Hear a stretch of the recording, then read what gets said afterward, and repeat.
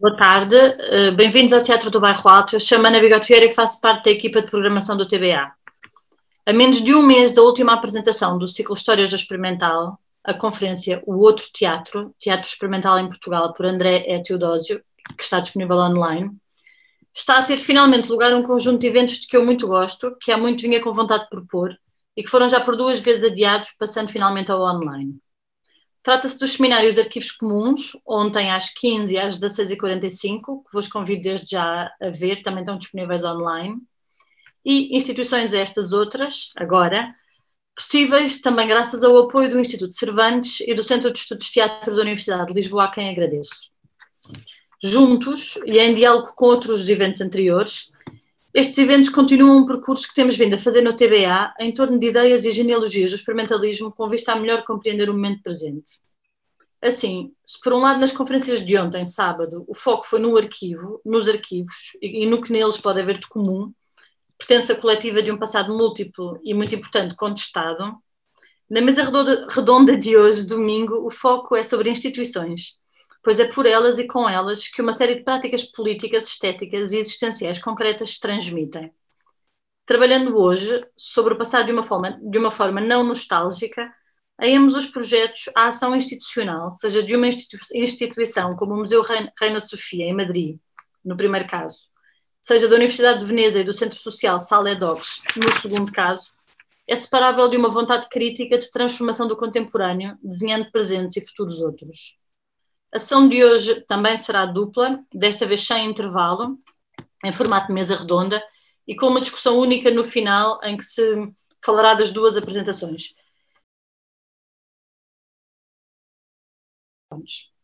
Gostaria de avisar também que esta conversa está a ser gravada, sendo posteriormente divulgada no site e nas redes do Teatro do Bairro Alto, onde, aproveito para anunciar, se encontram também alguns excertos de textos que servem de apoio aos vários seminários, com as respectivas ligações para a bibliografia mais aprofundada. No final, vamos abrir para conversa, estando desde já convidados a participar por chat no Zoom, YouTube ou Facebook. Eu vou recolher as questões que lerei alto quando houver oportunidade. Passo a apresentar os intervenientes que tenho o maior gosto em ter connosco e que gostaria de futuramente acolher em presença no TBA. Então, eh, Sara Buraia Bonet trabalha no Departamento de Atividades Públicas do Museu Reina Sofia e integra o Museu em Rede, onde a sua investigação e o trabalho institucional são atravessados, eu acho que este atravessados é, um, é importante, pelo enfoque nos feminismos, nas políticas do cuidar, na nova institucionalidade, nos comuns urbanos e no arquivo e memória dos movimentos sociais. Sara é coordenadora da Confederação Europeia de Museus Internacional e membro editorial do Internacional Online. Integra também o IDI, Institute of Radical Imagination.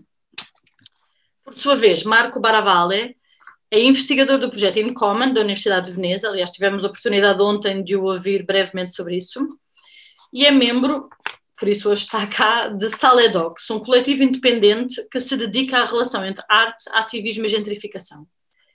Um, integra igualmente o IRI, Institute of Radical Imagination. Por último, para moderar a conversa, eu convidei Luís Silva, curador e diretor do Kunsthalle Lissabon, instituição que fundou com João Mourão em 2009. Para além da sua prática curatorial, Luís Silva foi co-editor da série de publicações Performing the Institutional. Muito obrigada e dou a palavra à Sara. Hola, buenas tardes, boa tarde. Gracias, Ana. Eh, muchas gracias al Teatro do Barrio Alto y en especial a Ana Bigote, que desde que nos conocimos hace un par de años venimos intercambiando ideas y también sobre institucionalidad y también sobre las experiencias en pandemia. Gracias, Ana, por hacerlo posible. Y también gracias al, equipo técnico que hay detrás. Eh, voy a compartir mmm, mi pantalla.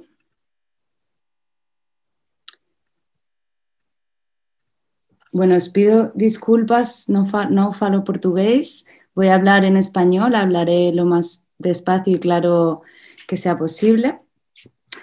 Eh, bueno, yo soy Sara Buraya, ya gracias por la presentación, Ana. Trabajo, os, os hablo desde Madrid y trabajo en el Museo Reina Sofía, una institución a la que estoy vinculada desde 2009, cuando empecé allí como estudiante, y he recorrido, bueno, he trabajado en dos de los departamentos, en el de colecciones y trabajo en actividades públicas desde 2013. Pero bueno, por decir que, digamos, allí he vivido todo un proceso de formación profesional, personal, institucional y también política. Y también soy por afuera de, de la institución, también participo y he participado en colectivos independientes, tanto de producción cultural, en distintos espacios de participación, colectivos feministas, centros sociales.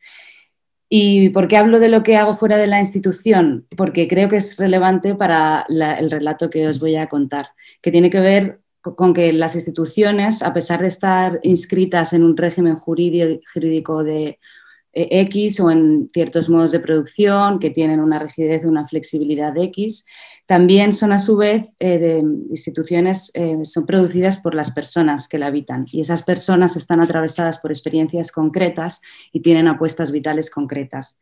Y porque creo que la máxima de lo personal es político, también se puede aplicar a la apuesta institucional. Y también quería aclarar que lo que voy a contar no lo, no lo, enuncio desde la institución museo ni representándola, sino que voy a hablar de mis experiencias personales y también todo lo que voy a contar es fruto de la reflexión a partir de prácticas institucionales, reflexión que no he hecho sola, sino que ha sido alimentada durante años por las personas que hemos ido pasando por este dispositivo del Museo en Red. A mis compañeras a las que doy las gracias y desde aquí saludo. El Museo Reina Sofía, voy a dar un poco de contexto por, si acaso alguna no lo conocéis, es el Museo Nacional Centro de Arte Reina Sofía, que es, eh, una institución pública dependiente del Ministerio de Cultura y Deporte y que alberga la, colección de arte contemporáneo de España. Es una institución a muy gran escala, en todos los sentidos, a nivel de espacios, a nivel de equipo, donde trabajamos muchísimas compañeras, tiene una colección de más de 23.000 obras, de la que su obra más icónica y representativa es el Guernica de Picasso, que probablemente conoceréis, y tiene bueno, líneas de trabajo ya muy asentadas, tanto de exposiciones como de colección, así como una importante línea de publicaciones y un departamento de actividades públicas que propone programaciones tanto en cine como artes en vivo, programas educativos y también programas académicos. Y Mm, es, el departamento que alberga esta apuesta institucional del Museo en Red. Bueno, la imagen que veis aquí, he puesto también la dirección del microsite de Museo en Red para que podáis consultarla y esta es la imagen que hemos eh, elegido para que intente expresar también a partir de experiencias artísticas el proyecto institucional que os voy a contar. Y se trata de una imagen del libro de Suri Rolnik, Esferas de la Insurrección, en el que sale A Cita de Moebius, que es una cita, una obra del artista Lilla Clark, Caminando, de 1973. Algunas de las obras relacionales de Lilla Clark están en el museo de, están en la colección del museo y donde el artista corta un folio para crear esta figura matemática pensada para que el público lo haga a su vez, cortando el papel y creando un camino de dos reversos que en realidad terminan siendo el mismo. Y nos parece que habla de este tipo de, bueno, de la idea de las prácticas artísticas que aplicamos o que intentamos aplicar a la institucionalidad, que pasa por la performatividad, que pasa por lo colectivo, por el, la persona que la activa, que tiene que ver con una genealogía y que es un constante hacer y deshacer entre muchas, ¿no? A ver, que no me deja pasar. Como os decía, Museo en Red es un área del departamento que viene desde hace 10 años estableciendo lazos y colaboraciones con distintas plataformas, tanto en el ámbito español, digamos, como a nivel internacional, y con plataformas que son de distinta, digamos, em, de, distinto ámbito de acción, no solamente relacionadas con las prácticas artísticas, que por supuesto también, sino con la construcción de pensamiento, con los espacios del activismo y mm, y con, digamos, distintos tipos de construcciones institucionales. Entonces, em, se inscribe Museo en Red en prácticas y reflexiones que vienen, por supuesto, herederas de la crítica institucional de los 60, de los 70, ¿no? cuando artistas como Jaque o Bureno o Brodar se empiezan a cuestionar las lógicas de la institución y que ha tenido una serie de olas en los 70, en los 90 Aquí, eh, bueno, había pensado, me gustaría mencionar eh, que la presentación de, de Analisa ayer, ¿no? en la que ella hablaba sobre la revolución vasaliana, esa revolución institucional que Vasal ya empieza en la ciudad de Trieste y que ha transformado su modelo institucional, es para nosotras y viene siendo desde hace años un impulso y un, un ejemplo muy movilizador que nos ha hecho ¿no? asumir también estas preguntas que se hacían en, Trieste y con las que con las compañeras de Trieste colaboramos hace tiempo. También quería mencionar, porque ayer me quedó por decir, eh, a Pancho Ramas, que con, que con el equipo de allí de Trieste están creando ahora el archivo, el archivio del Hospital Psiquiátrico de San Giovanni, con el que tenemos también una relación de ida y vuelta. Em, entonces, todas estas líneas, ¿no? que, líneas de fuerza que proponen el museo como un espacio de aprendizaje, como un archivo a activar, un foro público, un espacio de representación y de enunciación pública, em, que de alguna manera trasciende las tareas tradicionales de ese concepto de museo que albergaba y cuidaba una colección y la mostraba para activar un mecanismo, un dispositivo mucho más complejo. Entonces, si partimos de una institución pública como el Reina Sofía, basada en las nociones de patrimonio, de colección nacional, de lo público, nosotras intentamos plantearnos cómo conseguir que esa institución se abra, se deje atravesar y se transforme y se deje interpelar por otras y por otros em, y se deje interpelar por la noción de lo común, ¿no? a pesar de estar situada en esa, de alguna manera, identidad de lo público. Entonces voy a mostrar muy brevemente el ecosistema de redes en las que el museo participa, em, con las que dialoga y sostiene esa relación desde hace más de 10 años, ese entramado que es relacional, que es afectivo, proyectivo, reflexivo, discursivo. Entonces haré este pequeño esbozo y después voy a ir pasando unas imágenes de dispositivos que hemos activado a lo largo de los años con estas redes mientras voy enunciando bueno, una serie de, reflexiones que quería eh, compartir con vosotras para después centrarme en dos casos específicos de, estas redes que creo que pueden tender hilos con la conversación con Marco y con Saledox que podemos continuar eh, después. Que veo mi tiempo. La primera de ellas, bueno, estas redes tienen distintas escalas, como decía, y distintos ámbitos de actuación, también geopolítico, por decirlo de alguna manera. Museo Situado es una asamblea de asociaciones y del tejido asociativo del barrio de Lavapiés, que es el barrio de la ciudad de Madrid, donde el Museo Reina Sofía se ubica. Es, bueno, eh, se gestiona a partir de un proceso asambleario en el que el museo participa como una más y mm, destacaría que con el tiempo se, este, se inició en 2018 y Ana Longoni, que participó ayer, ha sido pues, una de las impulsoras y quizá después de, en, la, en la fase de conversación quiera aportar algunas ideas, pero mi experiencia con esta red ha sido que nos ha permitido generar un dispositivo de escucha sensible que conecta al museo con lo que está sucediendo en el territorio de Lavapiés y que nos permite actuar ahí.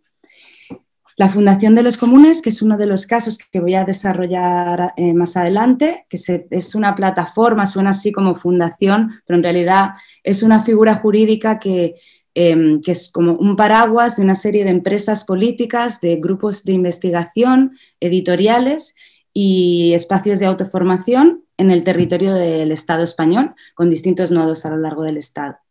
El Instituto de eh, la Internacionale, que es una confederación de siete instituciones de arte moderno y contemporáneo en el marco em, europeo, que comparten una serie de valores comunes como la solidaridad, la diferencia y la comunalidad, y que vienen también desde hace desde hace diez años cuestionando el rol de la institución museo, de la institución Museo de Arte Contemporáneo, a partir de bueno, cuestionar también cuáles son y reconocer cuáles son las diferencias entre ellas, jurídicas, de escala, de posición, supone una toma de, posición eh, de, este de este conjunto de instituciones. El Instituto de Imaginación Radical, que es una red formada por artistas, curadores, activistas, profesores y eh, abogados, bueno, es compleja, eh, tiene su ámbito de actuación, es el ámbito, digamos, mediterráneo y sureuropeo, y se dedica, bueno, tienen, todas estas personas tienen un interés compartido por la coproducción de conocimiento, la investigación artística y política y plantea una serie de intervenciones en sus distintos nodos en el Mediterráneo dirigidas a implementar formas de vida postcapitalistas la red Conceptualismos del Sur, que ayer tuvimos el placer de conocer, que Ana ya explicó muy bien, eh, que es una red fundada en 2007 de investigadoras, de activistas eh, de ámbito latinoamericano, pero con también algunas personas en el Estado español y con la que el museo viene colaborando desde 2019 en proyectos como investigaciones, publicaciones, digitalización de archivos y su consolidación así como ciclos audiovisuales, seminarios en, este, en esta idea de colaboración sostenida a lo largo de los años. Y la laboratoria, que es el segundo caso que trataré, que es una, digamos, una red de muy reciente creación destinada a generar recursos y espacio para proponer investigaciones feministas, pero que tienen que ver con el ámbito, digamos, de la acción política feminista, que no está separada, no, no de ámbito académico, sino que tiene que ver con una praxis que genera un conocimiento específico que normalmente no tiene el tiempo ¿no? para, para la escritura, para la difusión y para la reflexión más sosegada. Y todo este es el ecosistema, digamos, en que en el de cooperación y colaboración del museo con estas redes. Entonces, ¿qué es el museo en red? No? Desde 2009 viene, el museo viene actuando en esta línea de manera más o menos intermitente, pero digamos que en los últimos 3-4 años se ha establecido como un espacio de trabajo fijo y específico porque tiene unas particularidades este trabajo con las redes. Se trata de una apuesta, ¿no? un proyecto institucional y político muy concreto, que es una especificidad de este museo en los últimos diez años, del Museo Reina Sofía. Tiene que ver con el trabajo relacional y con el trabajo afectivo. Tiene que ver con plantearnos lo que es la colaboración, qué es, qué implica y cómo se construye.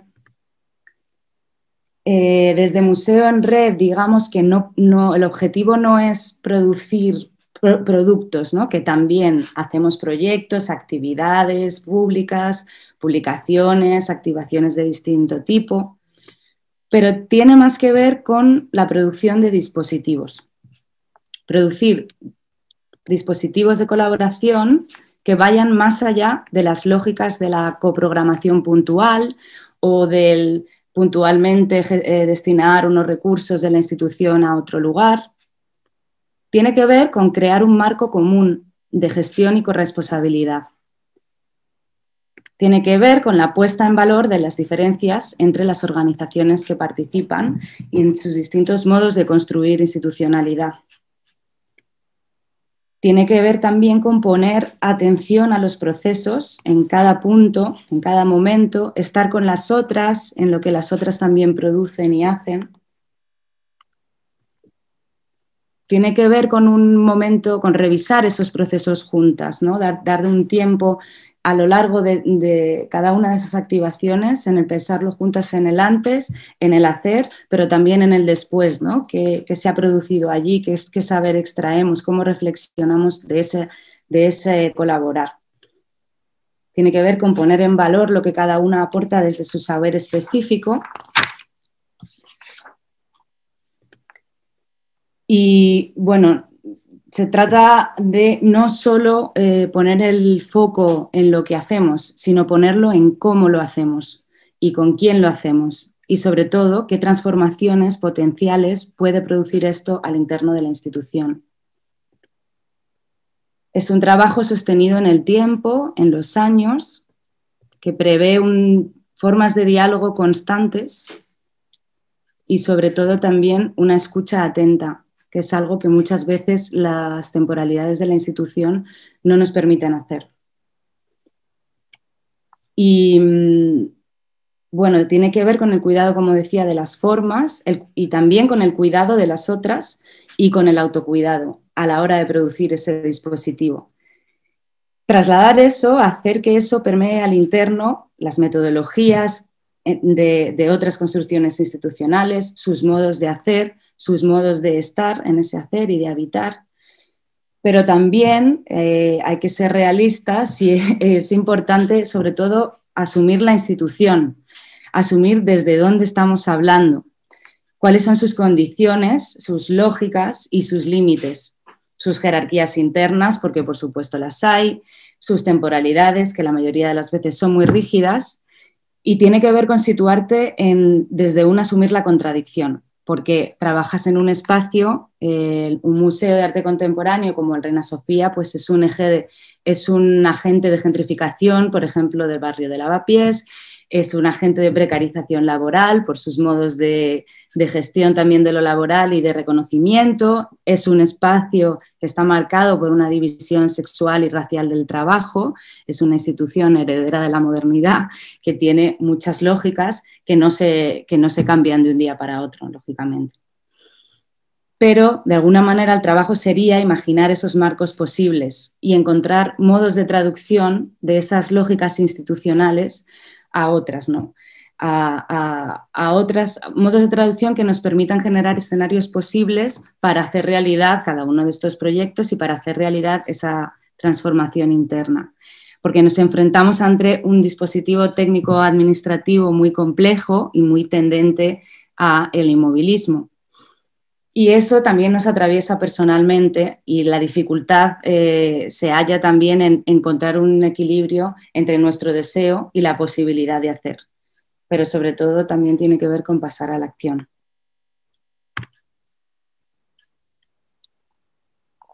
Y ahora voy a hablar de estos dos casos específicos como ejemplo ¿no? del tipo de trabajo que hacemos el primero sería nuestra relación con la Fundación de los Comunes, que como os decía es este laboratorio que produce pensamiento crítico, que tiene que ver con los movimientos sociales, tiene que ver con la construcción de ciudadanía, tiene que ver con generar herramientas de intervención política.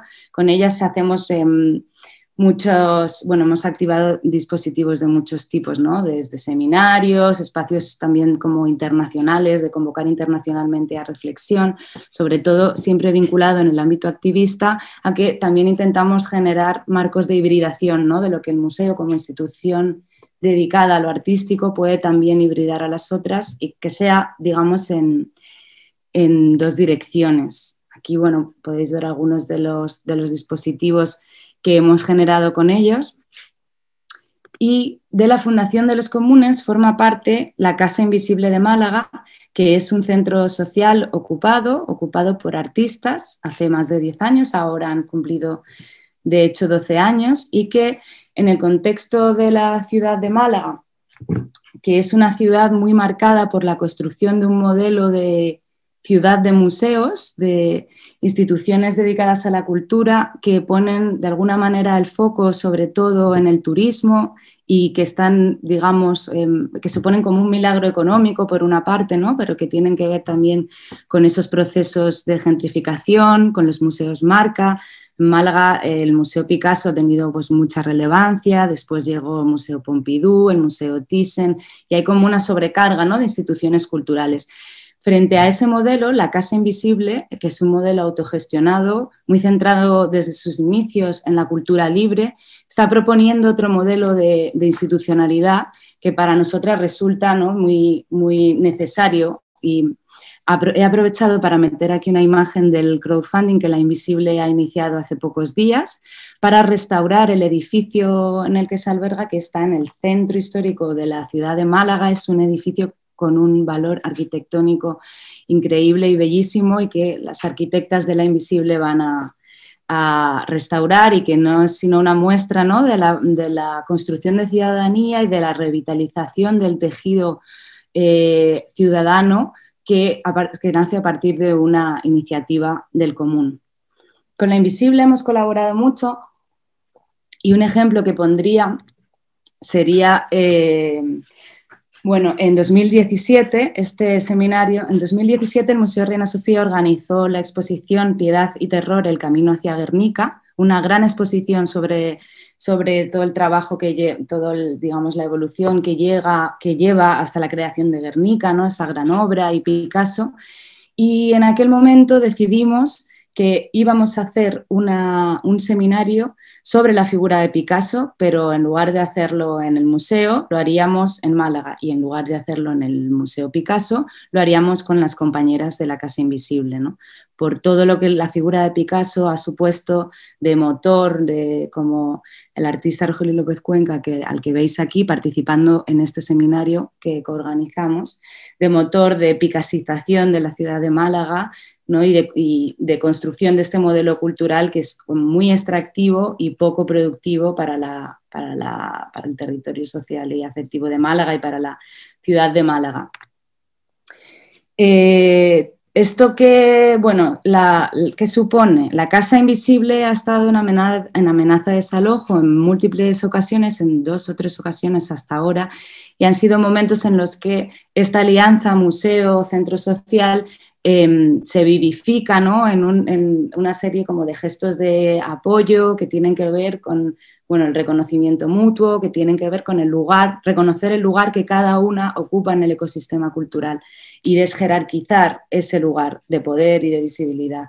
Entonces, el Manolo Borja, el director del Museo de Reina Sofía, ha, puntualmente pues ha ido, hemos preparado, y así, esto es lo que os quería mostrar, ante esta situación de ataque de, un poder público que tiene muchas dificultades para reconocer el hacer de otros, por no decir que directamente lo ataca de este modelo institucional, pues allí convocamos con las compañeras de la Invisible una mesa redonda sobre cuál es el papel de las instituciones culturales, en la que participó Manolo Borja, el director del Reina Sofía, participó Ferran Barenblit, el director del MACBA, también con una serie de actores muy claves eh, en la cultura en la ciudad de Málaga, posicionándose en favor de la, de la defensa de la Casa Invisible, por lo que significa para la ciudad y por lo que significa para pensar los modos de producción cultural.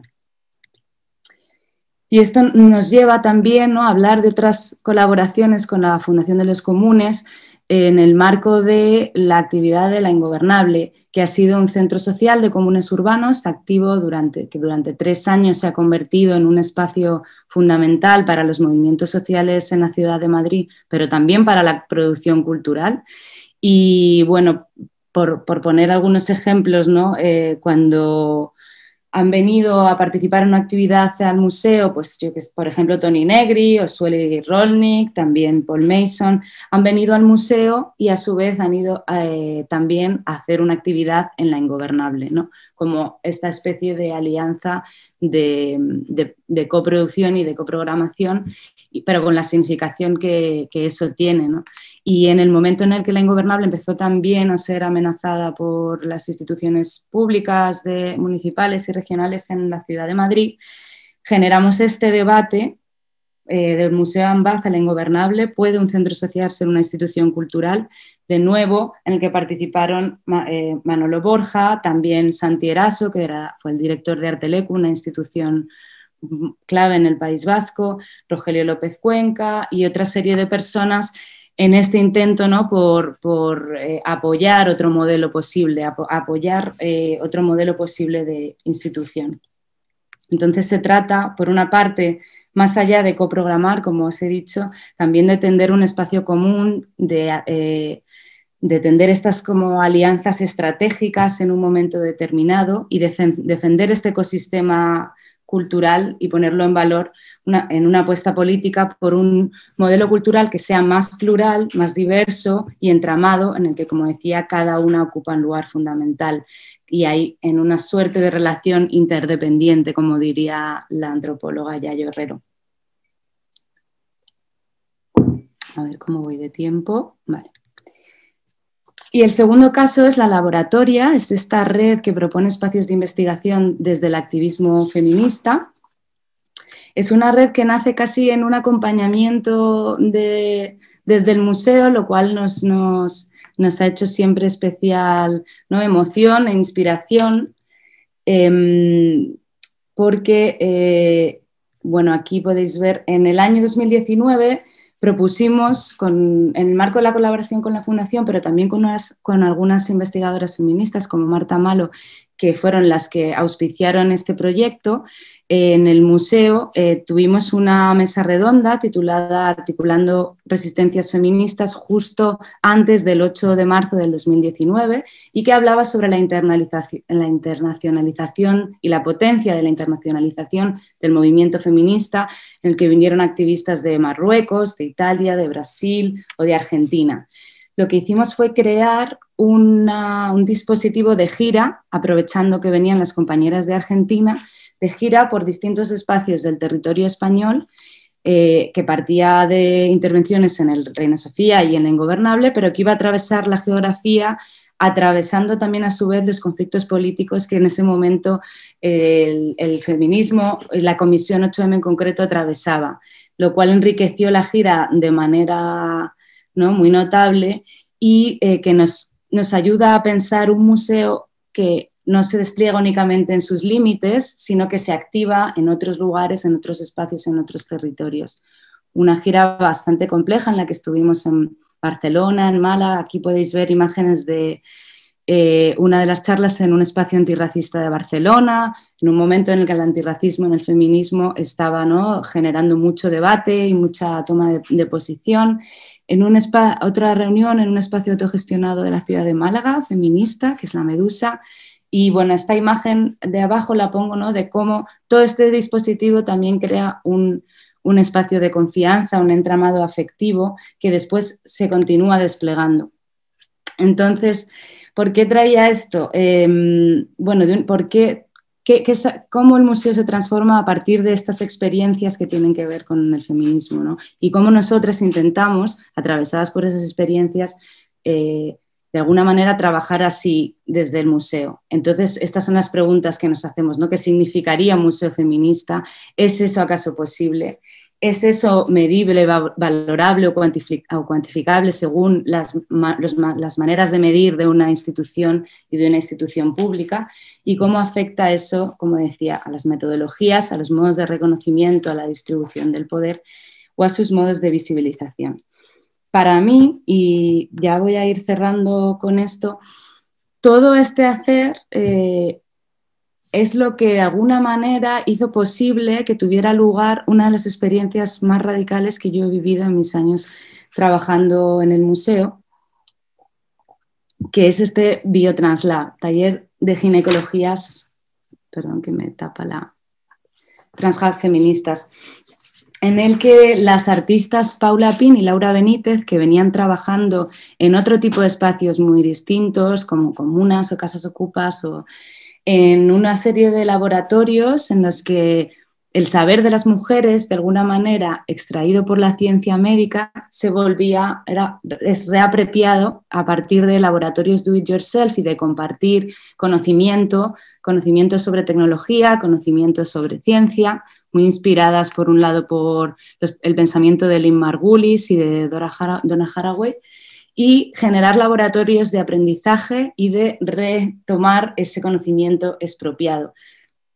Se trató, de un laboratorio, se trató de una experiencia que convirtió un espacio del museo de alguna manera en un laboratorio, en un espacio de hacer, durante cuatro días seguidos, eh, que estuvimos en este espacio, que es como una especie de sótano en el Museo Reina Sofía, donde estuvimos conviviendo, perdón, y generando estos dispositivos do it yourself que son laboratorios, son, perdón, microscopios creados con cámaras, eh, con cámaras de, las, de webcams que son utilizados a su vez en una especie de mm, aprendizaje colectivo para, eh, para mm, analizar muestras de nuestros cuerpos que, no, que nos auto tomábamos, ¿no? Y era toda la experiencia de, eh, bueno, se generó este espacio durante cuatro días en el que necesitas sostener un grupo que coma junto, que esté junto, que habite un espacio como el museo, un cubo blanco, frío, eh, totalmente que no podrías imaginar, ¿no? Para que este tipo de experiencias tuvieran lugar,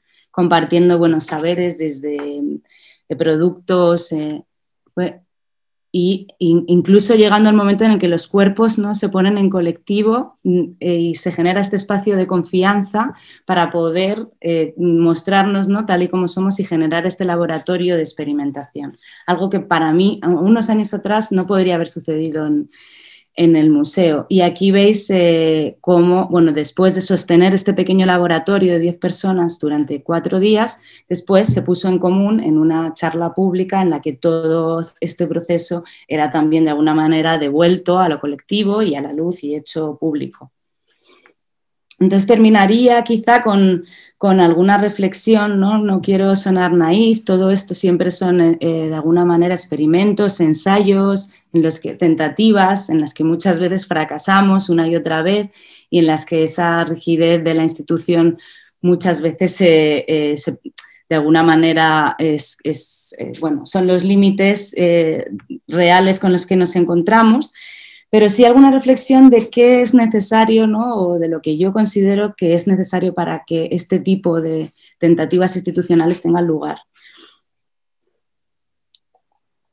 Para mí tiene también mucho que ver con trabajar en el interno, con el equipo, con la gente que hace posible la institución, con todos esos saberes distintos ¿no? y trascender la lógica del, del curador o del programador, sino que cada persona tiene un lugar que es igual de relevante en cada uno de los proyectos.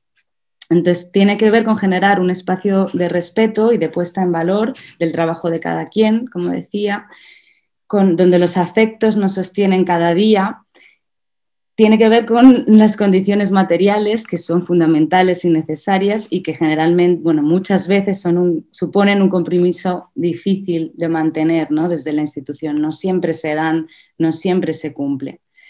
Em, voy a pasar a la última diapositiva, que ahora hablo de ella. Entonces, para eso, para que se genere una reflexión interna, institucional y de la gente que está haciendo institución, hay que hacer espacio, hay que hacer espacio para ello. Y hacer espacio supone dejar tiempo y dejar eh, tiempo para el descanso, tiempo para el pensamiento y tiempo para la conversación. Y eso no siempre es difícil de tener en la institución y sostener, ¿no? Sostener, hacer que esto sea continuado y que la institución se comprometa. Es algo que, por ejemplo, al día de hoy que las instituciones siguen siendo jerárquicas, si no es por el compromiso absoluto de la dirección, eh, bueno, en este caso de, de Manolo Borja y de Mabel Tapia, con este tipo de institucionalidad, eso mm, a día de hoy no es posible. Aquí he puesto esta imagen que, bueno, es un poco ese espacio que hacemos. Es una residencia de investigación a la que fuimos juntas, compañeras que trabajamos en el museo, a eh, bueno, hacer una residencia de un grupo de lecturas que tenemos y que sostenemos en el tiempo, que se llama Respirar, y que se creó en la pandemia y que tiene que ver con ese respirar juntas durante, durante nuestro trabajo y encontrar el tiempo para hacerlo. Y mm, por último diría que los, bueno, los límites, ¿no? como decía, que son muchos y, son complejos. Los marcos jurídicos, que son los que son y que obviamente trabajamos con ellos también, pero que muchas veces son muy inflexibles, las temporalidades aceleradas de la institución, la precariedad, como decía. Y mm, bueno, dejaría así eh, mi intervención con la pregunta de cómo hacemos que las prácticas transformadoras permeen de tal modo que trasciendan a la marcha de las personas. Porque cierro con lo que empecé, ¿no? Las instituciones están eh, producidas también por personas, lo cual es una potencia enorme, pero también es una fragilidad enorme, porque muchas veces cuando esas personas no están, es difícil sostener el proyecto. Y con esto termino. Muchas gracias a todas. Muchas gracias, Sara, que has terminado justo con lo que yo estaba pensando, que cómo, cómo, hacer, cómo hacer continuidad cuando hay también todos estos, todos estos cambios. Entonces, agora um, bem, vamos ouvir agora então a apresentação de Marco Baravalli e abrimos para conversa coletiva no final. Muito obrigada, Marco. Yes, so thank you very much, Anna and the Teatro do Bairro Alto for the invitation. Thank you very much to the technical team and also to Luis for uh, uh, moderating this this uh, session.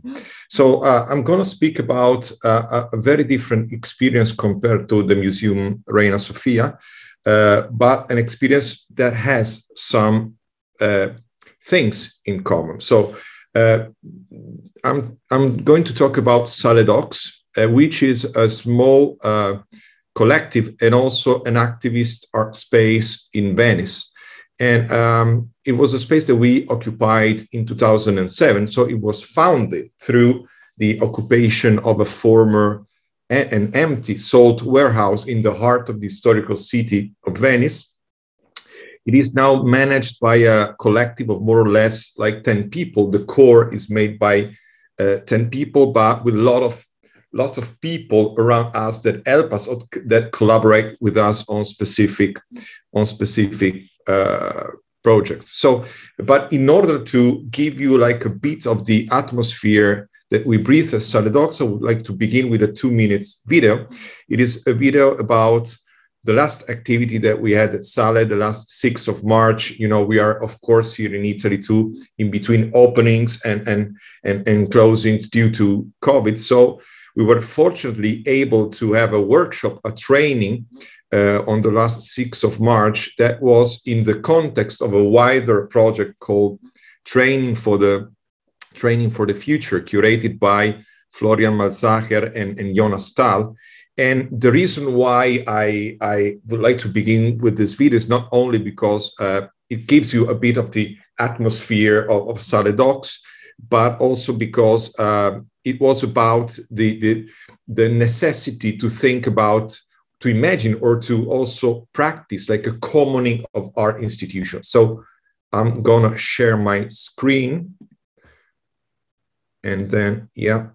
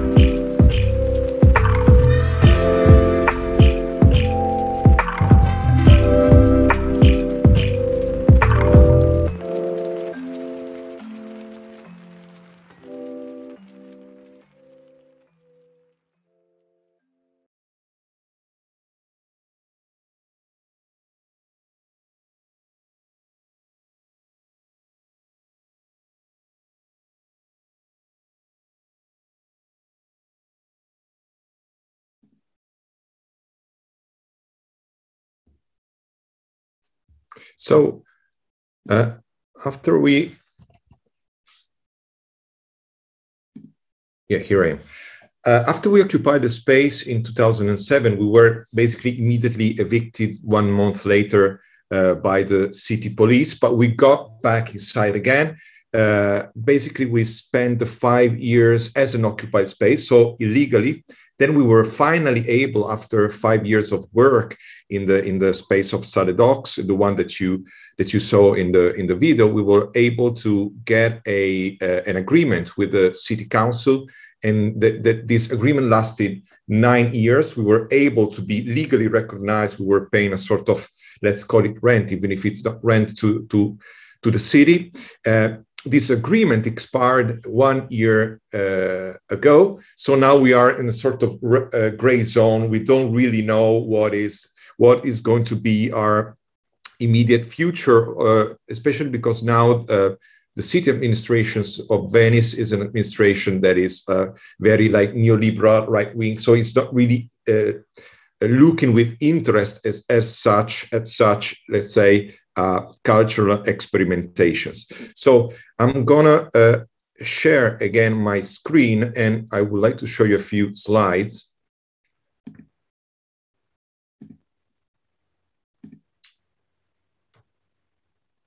Here we go. So uh, the the the reason why we decided to occupy Docks was because we wanted to. We when I say we we we were and we still are uh, social activists living in Venice, precarious art and culture workers, and and and a network of researchers, and we wanted to experiment a non neoliberal art institution. But what does it mean, a non neoliberal art institution in a city like Venice that is basically a, a, a, a very famous art and tourist city?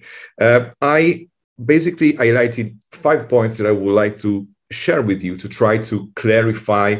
Uh, what is the work that we're trying to do at S.a.L.E. Docks? So this is, uh, by the way, the, the, the space seen from the from the outside you see uh, you see here there is the, the, the door of S.a.L.E. Docks with the with the banner.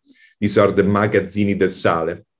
The, the, these are former salt ancient form former salt warehouses of the Serenissima Republic. So, what does it mean to experiment a non-neoliberal art institution in Venice? First of all, it means an attempt at breaking the link between art and rent, and specifically art and real estate rent. What do I mean? Let's try to uh, explain it concretely. What you are seeing here is a map of uh, some uh, of the collateral events of some art biennials of, or biennial of a few years ago. And everybody who has come at least once to Venice to visit the biennial knows that you have this two red areas, which are the Giardini and the Arsenale, so the main venues of the biennials. And then you have uh, dozens and dozens of uh, exhibitions in the city. And these are only the official collateral events of the Biennale, but you have many more that are not officially mapped here on this on this map of the Biennale. So, and you, I think you, you can imagine that most of these spaces are privately owned spaces. And so basically, there, there, there is a, a, a huge amount of money that arrives in the city. And thanks to the business of renting uh, spaces for the exhibition, this money go into, goes into, into immediately into private pocket.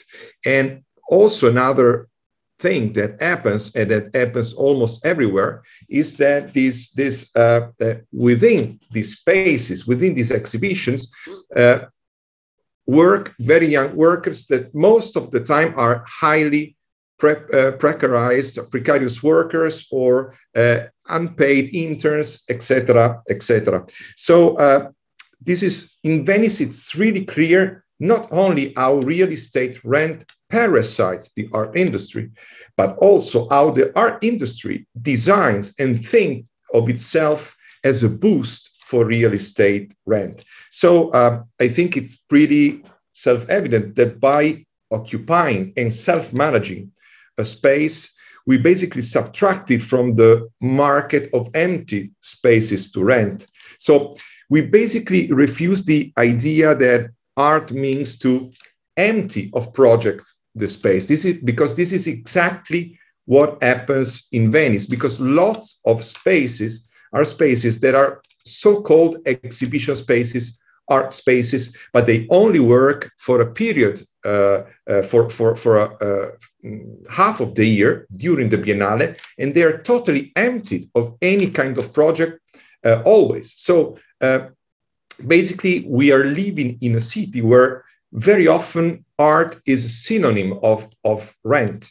And there, there is a very good, very good uh, business for, for owners, very good business for also for uh, big agencies that work in the mediation between those who want to rent spaces and those who are, and, and the owners. And often, what what uh, this this agency, these renting agencies, present themselves as uh, as cultural foundations, but they are they really have nothing to do with any kind of uh, cultural project, let's say. So this is the first thing that we try to do. We try to problematize, to highlight, and to give a practical uh, a practical alternative to this link between art and real estate rent that in Venice is very, very visible.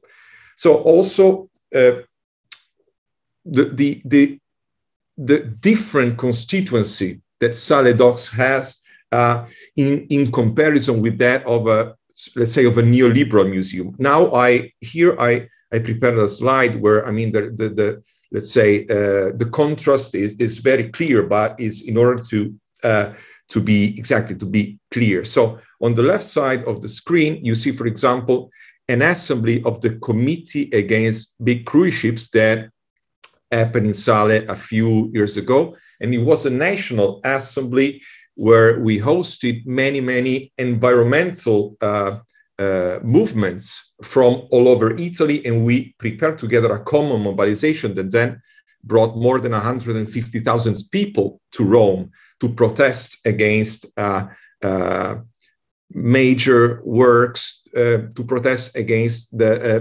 extractivist policies and for climate justice. And so, for example, the Committee Against Big Cruise Ships is an activist group that uses the space of S.a.L.E. on a regular basis. And this is not something else from being a cultural institution. This is really part of the of our constituency.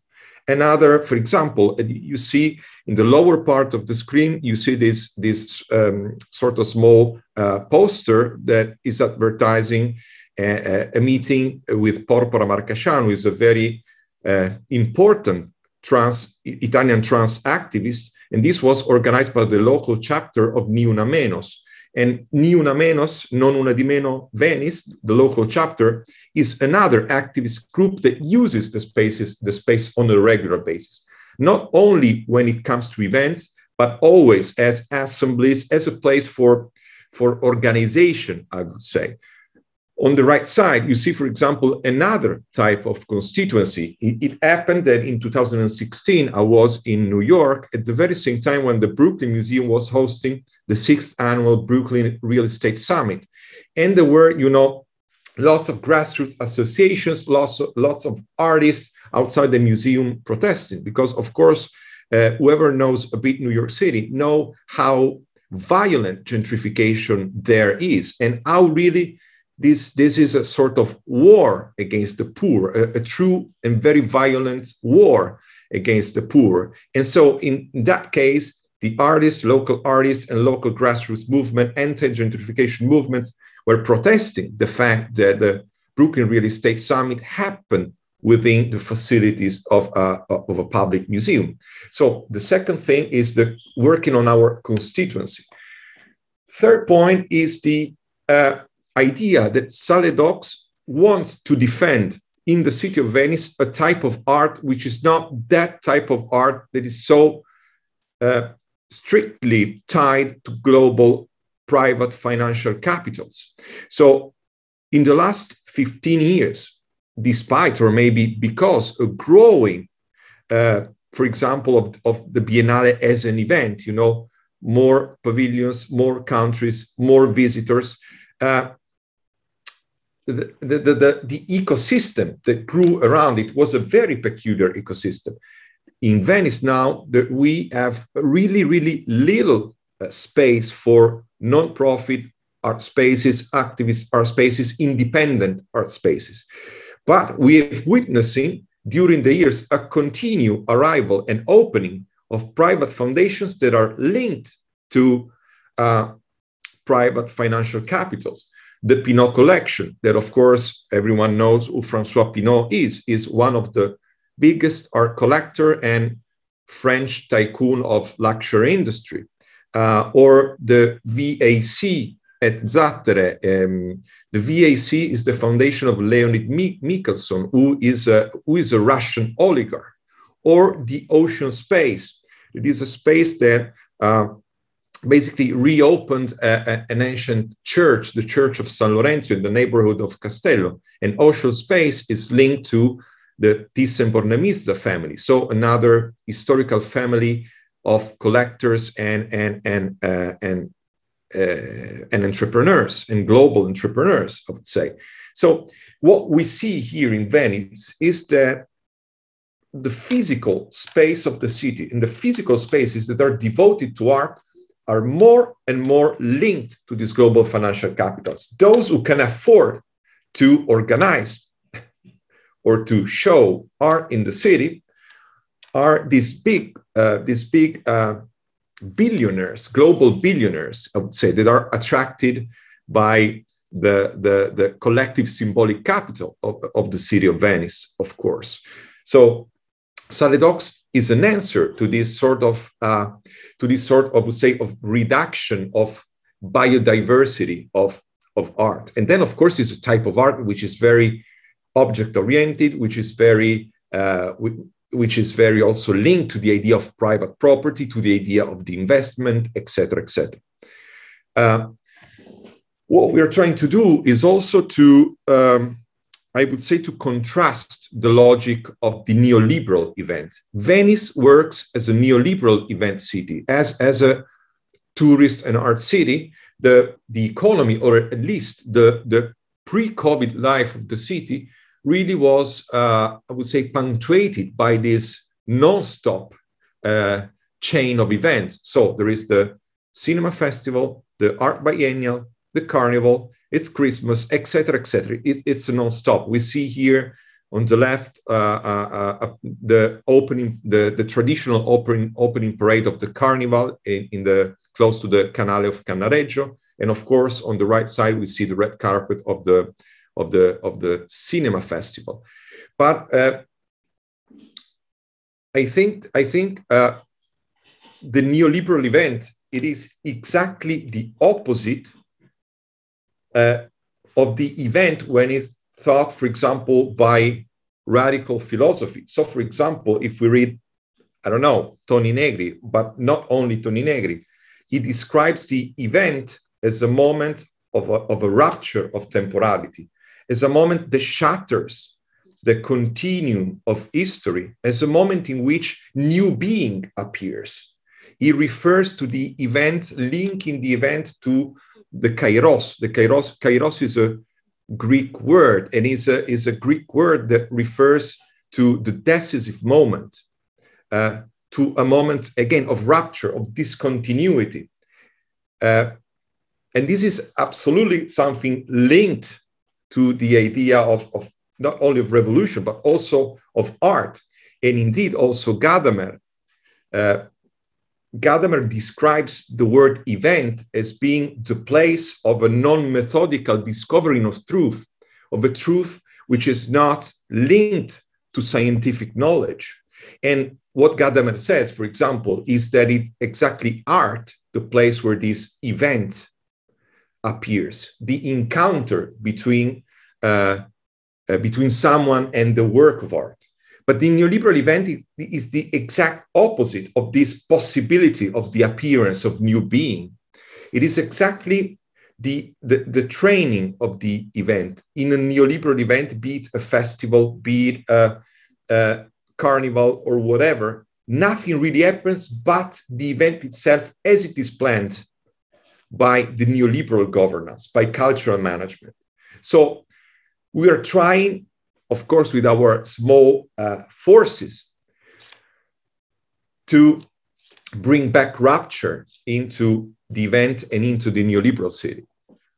We are also trying, and this is something that we discovered during our 13 years of life, we're also trying to uh,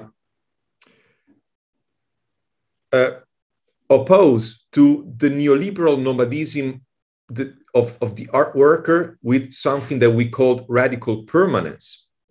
uh, you see on the left side of the screen uh, uh, some uh, diagram of the relationship between the different biennials, but I could have chosen hundreds of images. We all know that we move from, uh, or at least we moved in the pre-COVID era from, uh, from biennial to biennial, from art fair to art fair, from residency to residency, from university to university, from museum to museum, etc., etc., etc. And sometimes we, we also tell ourselves the story that we are uh, new global romantic nomads and that we are in a way uh, building a structure of relationships that resists, for example, uh, the injustices of the neoliberal global system. I think this is something that has to be questioned. I think that the way our neoliberal mobility structured is something that goes to the all advantage of profit and to the expense of the commons. And also, I think that while we move endlessly, now we move, we endlessly, endlessly move from Zoom to Zoom, while we endlessly move, when the global art circuit lands somewhere in some city with a museum, with a festival, with a biennial, they are shaping and changing the situation of the city. They are shaping and changing the quality of the public space. Usually, a museum, usually, okay, the Reina Sofia is an exception, or the network of the Internationale is an exception. But usually, uh, when a museum lands somewhere, it's gentrification, it's raising of, of real estate uh, prices, etc., uh, etc. Et uh, the biennial in Venice is something really important to us. Of course, we acknowledge the importance of the, of the Venice biennial because we acknowledge the importance of being like a, of remaining a global cultural hub. But at the same time, the, the effect that th this type of event has on the city is an effect that is more comparable to that of a, of a big tourist event. It's not helping Venetians to come back to live in the city. It's not attracting new residents. It's attracting visitors, it's attracting tourists, and is uh, and it's basically contributing to uh, the fueling of real estate rent, which is, uh, I would say, the main problem of the tourist industry in Venice. So, what is radical permanence? It, it, only as an example, I I uh, uh, put on the on the right side of the screen, I put a map of all the activist, let's say, demonstrations, actions, or things that happened in Venice in 2006 and 2007. Radical permanence means that while we move, while of course we do not deny the importance of having transnational uh, relationships and also of transnational organization, uh, while we move, we also take care of the place we're in. We also try to build some, uh, some alter institutions that have different effects on the social fabric of, of, of the local and that, that also imagine mobility, art mobility in a different way on a global scale. So radical permanence is not that we stay still, that we don't move, but for example, is the idea that also ecological crisis says that maybe as our operators, we have to move less, but we have to be more, let's say, uh, we have to, to activate ourselves more in order to provide, for example, migrants with, with, uh, with uh, the right to move, because there are many, many people that uh, don't have the right to move in the, in, the, in the world as it's structured now, and not only now. So I would say that these are at least five fields of what I called alter institutionality. Of uh, these are, uh, I would say, three, uh, five testing grounds for alter institutionality, and one and, and some that we practically encountered while uh, after we occupied S.a.L.E. Docks. So let me now go to uh, to tell you a bit more in detail about some projects that we have been doing in Docks in this period of 13 years of activity. So, for example, uh, we operate with almost uh, zero budget. So the group is not paid for, for the work that we do at Docks. unless someone is employed, for example, if someone has to open the space for two months because there's an exhibition, then it has to spend, I don't know, like 30 years inside the space. Of course, there's a we, we try to find a budget for it because it's so much time demanding. But you know, usually it's it's activist uh, work, let's say. So we had to find different models of sustainability. Of course, we, we don't rent the space. We do partnerships. We do partnerships. Okay, so uh, also with with um, with museums, with with inst- with other institutes. But the point is that always or almost always the collective has to be engaged in the project of things that happen in the space because we don't want to reproduce the empty box idea of art as rent. So, for example, how did we uh, build most part of S.a.L.E. Docks concretely? In a, in a, in a partnership with, a, with what back then, like 10 years ago, was a, a sort of association, and now it evolved in, a, in, a, in an actual um, in an actual company that now, now is called R3B.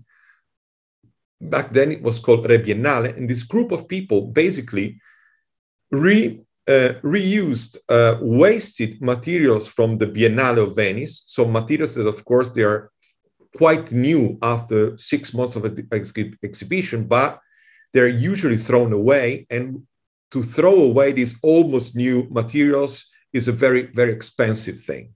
So they came with this idea to basically scout the different exhibition that had to be dismantled to basically collect for free or let's say for a fair amount of money uh, these materials and then put them back in circle within within an ecosystem of social spaces independent spaces public spaces schools parks etc so here you see ourselves basically in, a workshop of self-construction of the mezzanine of S.a.L.E. Docks that we did thanks to the wood that was used by Thomas Kilpper, who is a German artist. And back then in 2012, he was he, he, he designed and built a huge wooden installation close to the to the Danish pavilion inside the Giardino of the Arsenale.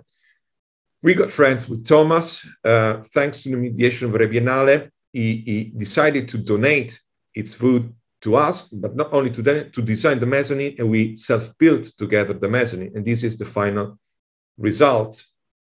And and for example, it's not only the mezzanine. This is this is if you see, for example, the wooden structures, these stairs on which the people are sitting for this for this seminar. Uh, this was the former ceiling of the German pavilion of the Biennale of I don't remember precisely what year in that case, the event was this was this seminar called Up Strike. So the, the, the, the thing was how to what is strike in the in the era of financial abstraction. There was the already mentioned Toni Negri participating, Matteo Pasquinelli, and Florian Schneider. I see here speaking. Uh, Open Six. Uh, a few a few years ago, I discovered, for example, by reading by reading the the uh, the journal by Harald Szeemann uh, of, of his journey to, to realize uh, the very famous exhibition When Attitudes Become Form. I read that, that when he was speaking before the exhibition uh, with, uh, I forgot the name of the artist, um, with Piero Gilardi, who is a very important Italian artist, a very radical Italian artist uh, when, when talking to Piero Gilardi before the exhibition, Gilardi suggested to Szeemann to forget the usual, let's say, uh, hierarchy between curator and artist and to organize the exhibition as a big assembly. Of course, Szeemann chose another, chose another path. And um, what we did was basically to, uh, to follow in a way the, the, the suggestion by Piero Gilardi. and in 2013 14, we organized uh, from scratch uh, an exhibition of contemporary art through a participative method. So the thing that we did was basically to put out a very simple communication campaign uh, outside in the city and on social networks, uh, addressing the art operators or, or, university students living in the city and saying that the communication was really simple. Do you want to organize together a collective exhibition? Come at S.a.L.E. Docks at this place and time. And we were expecting like 30 people, but eventually 130 people showed up. And this was the beginning of an incredible uh, seven months long process in which this assembly uh, meeting once every two weeks took every decision, but then this assembly sort of uh, uh, uh, gave birth to smaller groups that also like independently created a very, very interesting process. So in the end, we had an actual exhibition. Here you see some some uh, some uh, pictures of the uh, of the exhibition itself. But not only the result was important, but also the process. So there was one group that was devoting to analyzing the conditions of gentrification in a few neighborhoods of Venice. So uh, interviewing uh, shop owners, residents, etc. There was another group that was more uh, interested to the ecology of the lagoon. So they organized boat trip, boat trips in the lagoon, and they organized a few seminars on, on the environment of, of the lagoon, inviting scholars, etc. Et and there was another there was another group that basically conducted a series of of um, uh, reefs uh, uh, in, in, in San Marco Square. So it was a very generative process. For example, and, and also the, the exhibition also had an aftermath. For example, this, this big wooden sculpture that you see on the lower um, left corner was a, a nine month long wooden crocodile made by Kaya, who's a local uh, artist and, and tattoo artist and writer and street artist. And the interesting thing was that, for example, a few months later, we moved the crocodile, that crocodile from the space to the garden of a public, of a very important public school in Venice that was about to be privatized. So it, had, it also had an afterlife and, and, and, and we connected to some also the, the, the nice thing is that this particular piece connected itself to some struggles uh, for the right to the city in Venice. Uh, another, not project, but another action that we did, I don't know if you're familiar with uh, Gulf Labor. Gulf Labor was a campaign basically initiated by a group of US artists and scholars against the Guggenheim because the Guggenheim was and is still trying to build its branch in the in the Saadiyat Island in Abu Dhabi in the Arab Emirates. And the point is that these museums are built by mainly by southern, uh, southeastern Asian uh, migrant workers that are kept in, in horrible conditions, almost condition of slavery, with with uh, with very low pay pays and and and also they are blackmailed. So uh, Gulf Labor initiated this campaign to meet the workers' demands and this uh, action and pressure over the Guggenheim.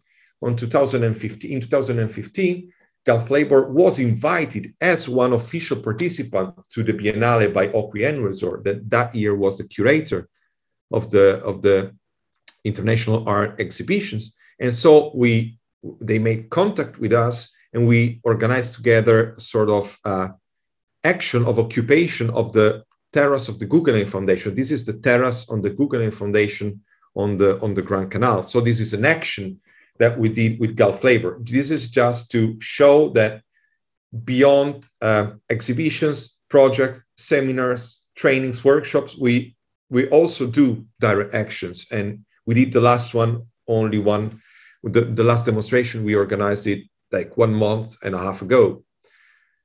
Another project was titled Dark Matter Games, uh, following the, the, uh, the concept created by US artist and, and, and scholar Gregory Sholette. Gregory Sholette uses an astrophysical metaphor to describe how the artwork how the artwork works. He basically says that the artwork, the contemporary artwork, is basically made by a very small visible percentage of percentage of uh, visible artists, curators, art operators, and this very small percentage is basically sustained, especially financially, by a huge core or bulk of what he calls dark matters. So that is indebted art students, amateur artists, are, or let's say uh, the audiences that go to art events, those who buy art supplies, those who take art classes, etc., etc., etc. But dark matter is also made by those uh, uh, individuals or collectives which uh, choose a certain amount of invisibility because they don't want to play according to the rules of the neoliberal artwork.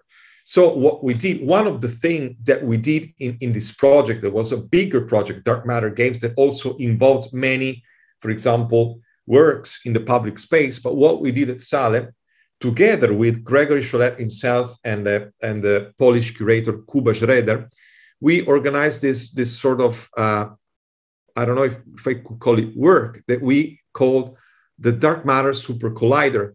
We self-built this, this uh, uh, exhibition design, as you can see here. This is inspired by the LNT system by Friedrich Kiesler, who was a revolutionary exhibition designer.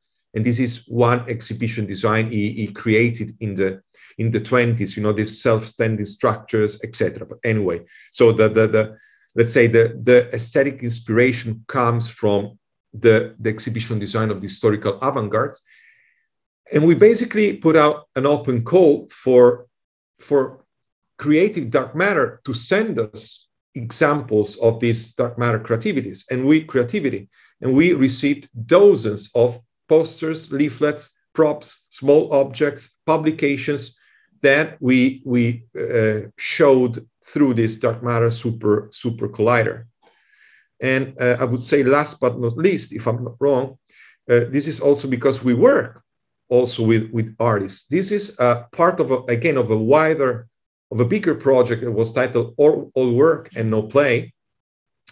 And these are pictures of the installation by Danilo Correale. Danilo Correale is an Italian artist based in New York City and Danilo basically uh, made a video and a script that is an actual hypnotherapy uh, relaxation session. And the script tells you a story of a post work society, a society where basically automation is going the opposite way as it going in reality, but uh, where a society where automation basically uh, uh, has been freeing the humankind from the necessity to work. So and and and also, I mean, this this uh, this installation was accompanied by uh, three days seminars in which we discussed uh, matters such as you know contemporary labor and the artwork, contemporary labor and gender, etc., etc. So uh, this is another picture of another contribution to all work and no play this is the Institute of Human Obsolescence and the idea of creating this data workers union, but was, this would be too long to explain. Uh, other other uh, projects that we did at S.a.L.E. Docks that I'm not uh, that I'm not uh, describing now. This is a the the I think I think the the only solo show by the very con controversial Russian collective Voina, as far as I know. We had it in 2013. And uh, let me finish with something that I think also fits very well the context uh, today. Let me finish with what is called now a fictional institution. So, an institution that does not exist, but that tells us very important things about uh, actual institutions. So, uh, I don't know if uh, I, I, had the chance because I was in France, like uh, in 2019, by chance, I had the chance to uh, to see this movie titled Bacurau. It's a Brazilian movie by uh, the director's name is Kleber Mendonça Filho. I'm, I'm sorry if I'm pronouncing it uh, uh, in the wrong way.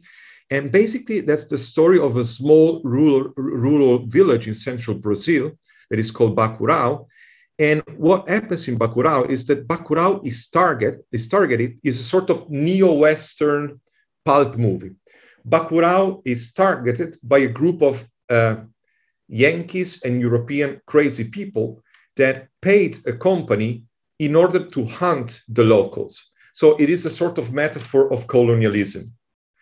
And the, the, let's say the war between the locals and this group of crazy human hunters or, or, or killers develops to a point and, and then the, the final there's a bit of a spoiler i know sorry but i, I think the, the, the movie is worthy anyway. The final place the place of the final challenge between the, the foreigners the, the colonizers the violent colonizer and the and the locals. By the way the chief of the local community is a is a sort of shaman woman is a is a is a witch and and and the uh, the place is populated by a gang of queer outlaws so you have really have all the of all the elements of, of the decolonizing discourse and the, the the museum becomes the the final place of the final challenge between the locals and the colonizer, and when the colonizers get eventually defeated. And this is really, uh, really incredible because this is exactly what, uh, what uh, community museums in, in, in Latin America, maybe even more in Central America, maybe even more in Mexico, but I'm sure in Brazil too, uh, signified historically. There is a, a, very interesting article by uh, Yaiza Hernandez Velázquez uh, that is titled Curating After 1972. And it tells the story about how the ICOM, the International Co Council of Museums, in 1972, so one year before the coup d'etat in Chile, uh, hosted its international roundtable exactly in Santiago de Chile. And, and this roundtable was very important for the, for let's say, for the proposition of a non-Eurocentric idea of museum and museology. And this non-Eurocentric idea that uh, was based on the idea that museums should not reproduce a Western uh, structure or Western epistemologies, but should be dispositives to help the subalterns of South America. And I'm almost uh, literally quoting the, the result of this roundtable. And then the community museums really became one of the one of the sites of this uh, epistemological resistance. And, and, and the director here, Kleber Mendonça Filho, is uh, sort of reconstructing the history in a, in a, in a sort of uh, pulp and cinematic way. So uh, with the Community Museum of Bacurau, I think I'm going. I'm um, I'm done, and thank you very much for your attention. Mm, thank you Thank you very much, Mark. I'm just jumping in to say that we, we accept questions here on chat and also on Facebook and YouTube. Thank you so much. And I will give um, uh, Luís voice or Luís Força. Uh. Um, obrigado, Ana. Um, eu gostava só de agradecer ao, ao, ao Teatro do Bairro Alto a oportunidade de moderar eh, esta conversa que muito me interessa pela minha própria prática e, e, e pelo trabalho e pela reflexão que eu tenho vindo a desenvolver uh, em torno do pensamento de instituições uh, e, e, da crítica da instituição cultural. Um, I'm going to switch to English because uh, I think it's it's an easier way of of speaking to both our guests, and I think it is it is uh, I think it's a really interesting uh, conversation that we're having here today, um, especially for for very local reasons. Since I, I, I, I guess Portuguese contemporary art institutions have histor- have been historically completely detached from from this institutional debate, this kind of self-reflexive uh, research into their own uh, processes and into their own mechanisms and what do they do when they do what they do basically um, what sorts of institutional protocols do they reproduce and what are the consequences of that what others do they choose to change uh, in order to achieve something else. Um, so that has been completely absent from from the institutional discourse locally. Um, and even though it may have seemed that for a while uh, the discussion was going to start, there has been in the past few years a, a very strange conservative turn in Portuguese cultural institutions, in, Port, in, in, in Portuguese um, visual art institutions, and, and that debate seems as difficult now as it has never been. So it, it's great that Teatro do Bairro Alto was able to, to, to set up this, this incredible um, discussion. Um, I think, I think both Sara and Marco touched on, on very important topics, uh, and, and I really appreciate the, the difference in scale and the difference in scope, uh, which despite you know the very different structures of those two institutions, we can we can really encounter an alignment, uh, an ethical alignment, a political alignment, a language alignment that allows us uh, to speak critically through and about institutions. And um, I, I was very, I was, I was very curious and, and, and very interested in Sara, and I'm going to start with you, Sara, um, because Rainha Sofia is, is, is, you know, such an important museum um, European wise and, and on a global scale, of course. Um, and, and of course, trying to do such a reflection or trying to think about uh, these issues from the point from, from the point of such a big institution must be really complicated because institutions are by default monsters. Uh, and and it's really interesting. And the, the contradictions that you've pointed out throughout your presentation are are very important. And you've you've acknowledged all of them. And i think that's really interesting. Uh, and it, it, it's interesting that the museum is aware of them of course. But what i would like what, what i would like to ask you is is there um, is there a way further is there uh, is how do how does the museum go beyond acknowledging those contradictions? Um, is there a charter for implementing change? Is there policies that define, for instance, in five years' time, we'll achieve this and we'll achieve that? How does the research and the knowledge produced by Museo en Red uh, feed into the institution as a whole? Um,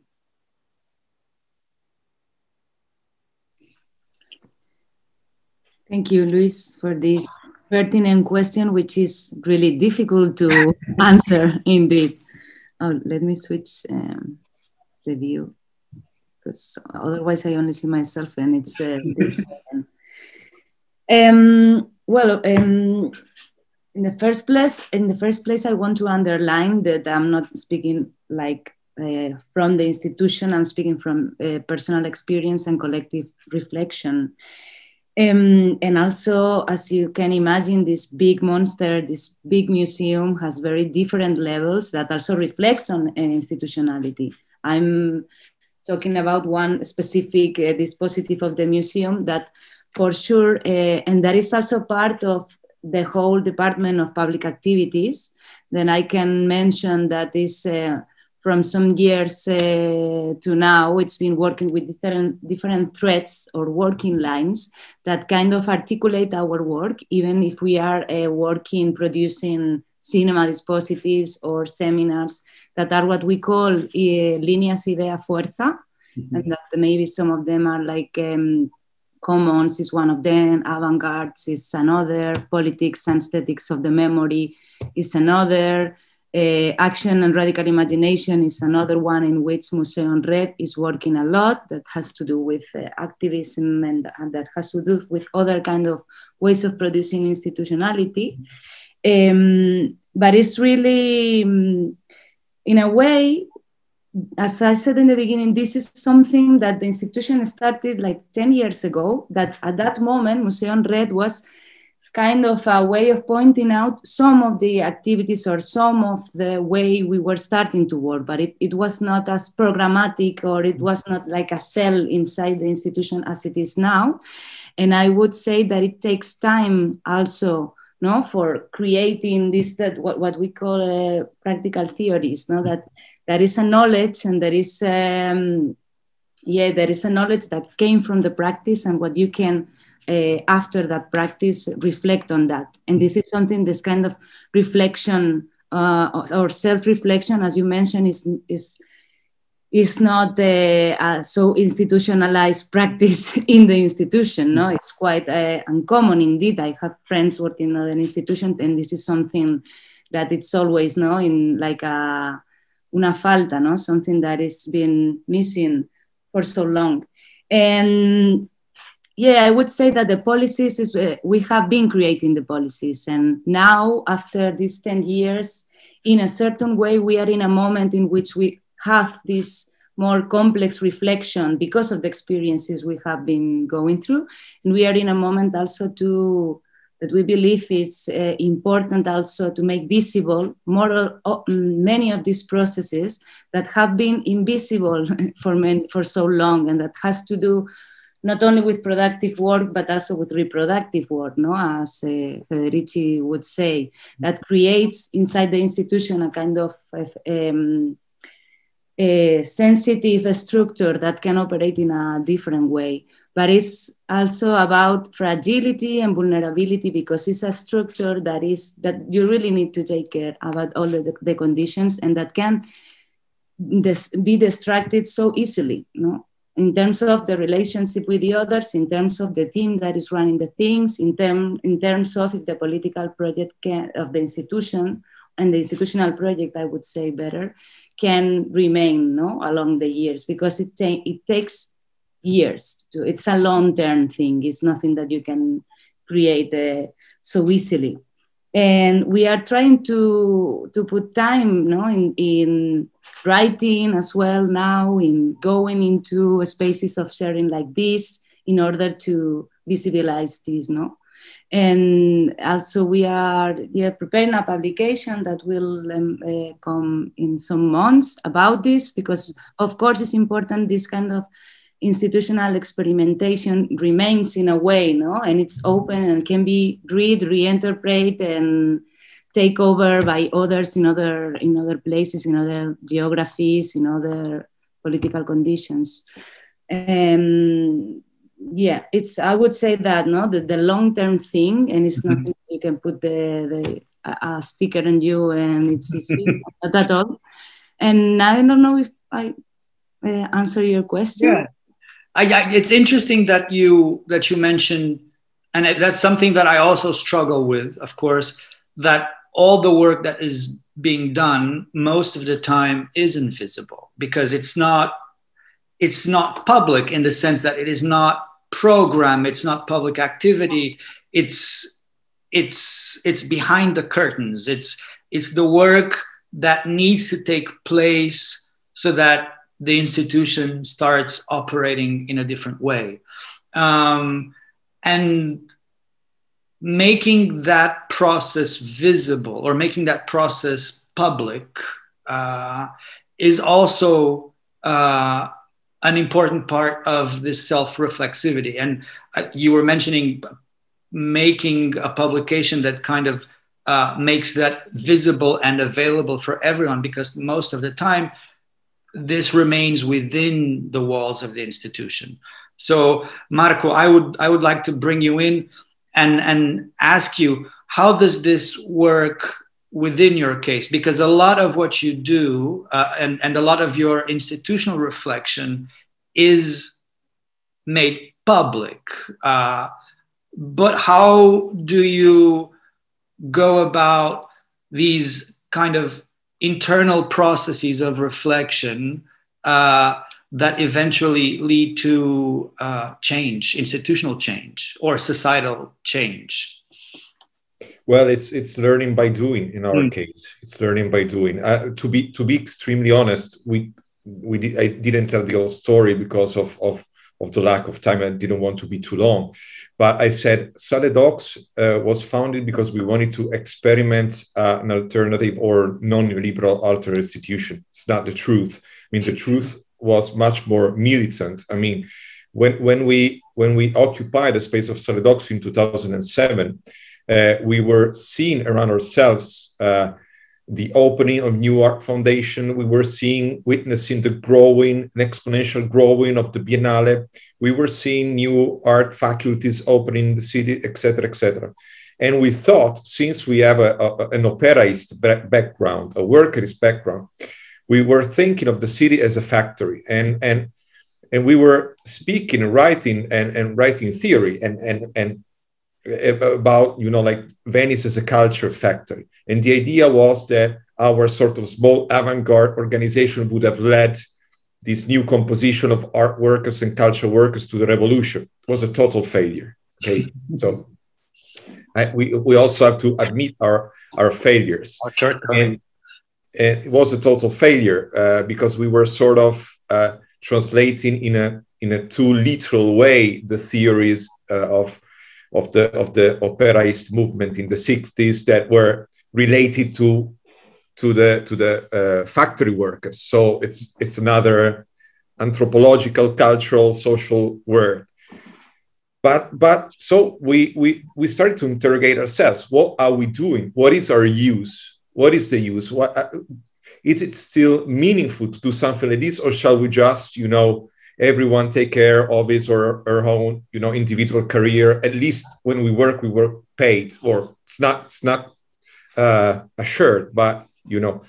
And and what we were discovering we, it was exactly this idea of working on on institutional structure which means to reflect on uh, a different uh, understanding ontological uh, different ontological understanding of what art is in comparison with with other neoliberal institutions in comparison with the museums that is next door to us in comparison to the uh, big billionaires that billionaire that open his uh, space to host his own collection his own private collection so it, it is it was a process and this and we are updating this process so we also learn to reflect as an institution. Mm-hmm. Also, very important, also very important, it was, we, we, we occupied it in 2007. So uh, I like to think of ourselves more or less as, as pioneers in this uh, wave of cultural occupation. But that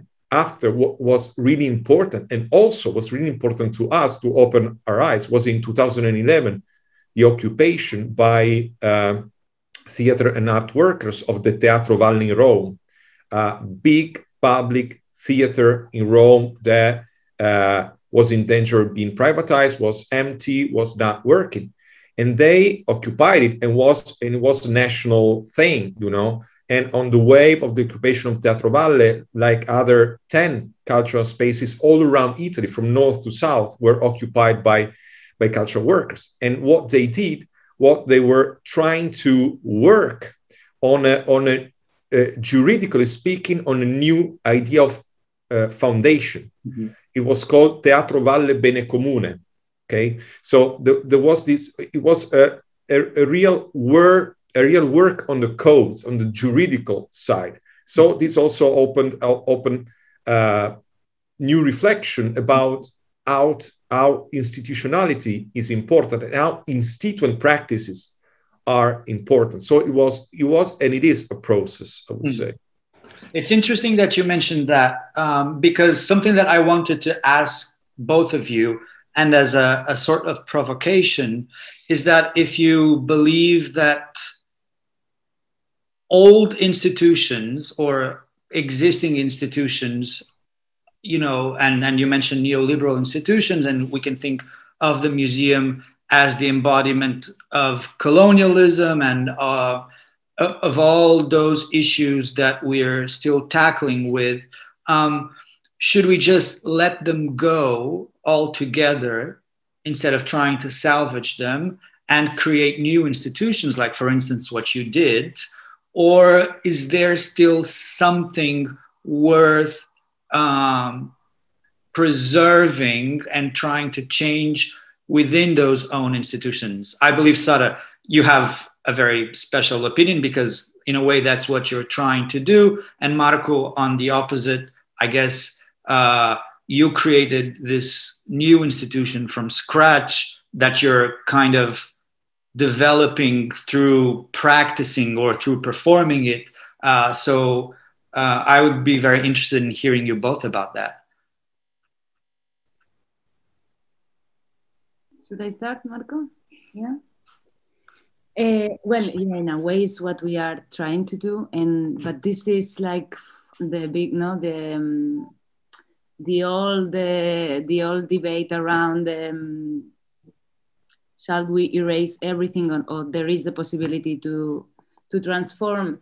Uh, of course it always depends on the nature of the institution that even the public ones have very different natures and status no but in a way institutions that, that are no, these dispositives we humans create uh, to run no, our society are always political and are always uh, atravesados no and crossed by many levels of um, you know, also uh, politically used. For, for example, uh, the other day in Internationale Online, there is a platform, the Internationale, this network of museums, has an editorial platform.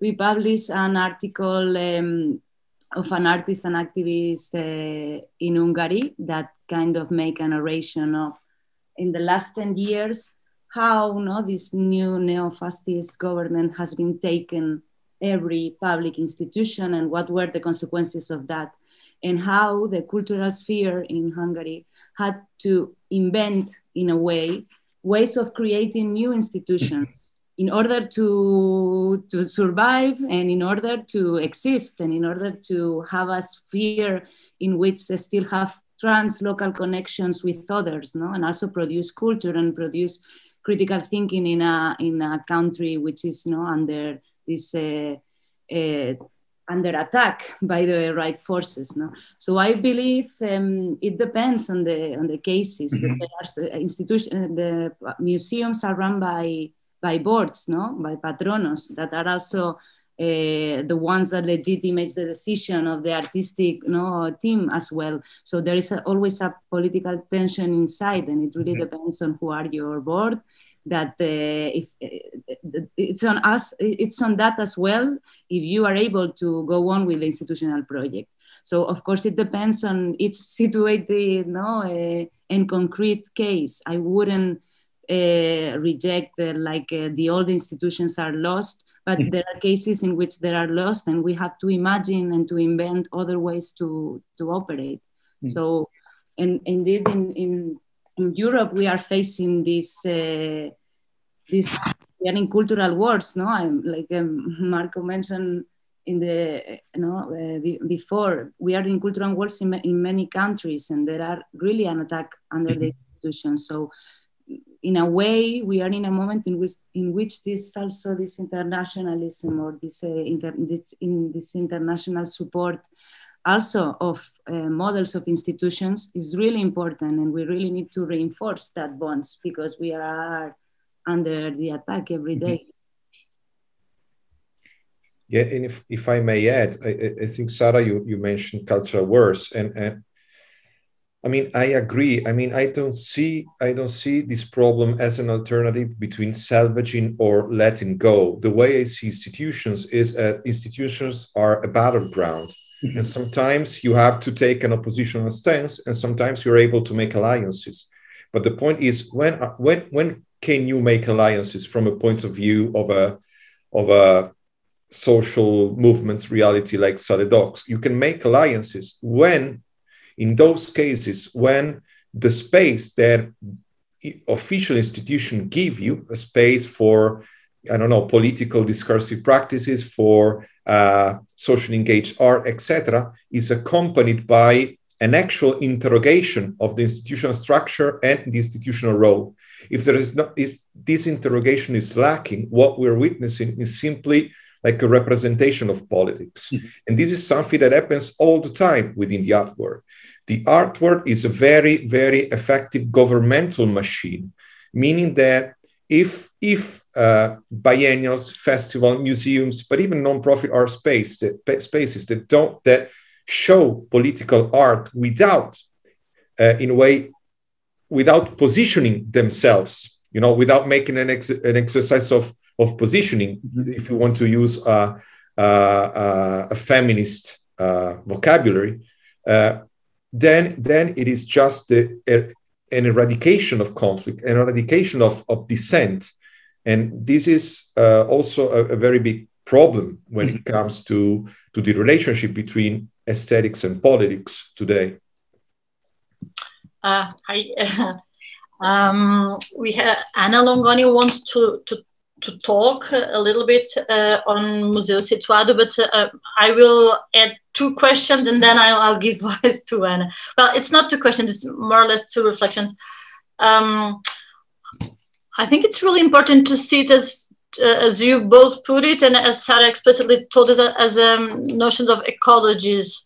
So uh, the fact that there is a network of institutions and one of the things that you you both share in, in, common is the fact that you do have a space you give space you give time to others and this is something well i, I thought once i wrote something on atelier real long time ago and it had to do with that ter um espaço dar espaço abrir espaço and at, at that time atelier real which was a it came by João Fiadeiro. It was a, supposedly dance space, but at that time it was being curated by David Alexandre Gagnon, who now has a publishing uh, and it's very active in the independent publishing scene, which is a, a really important um, space as well. Um, it had to do with this, with give, with giving time and giving space and acknowledging for other ways and other practices to to appear. So I, I think in both cases it's really important this notion of ecologies.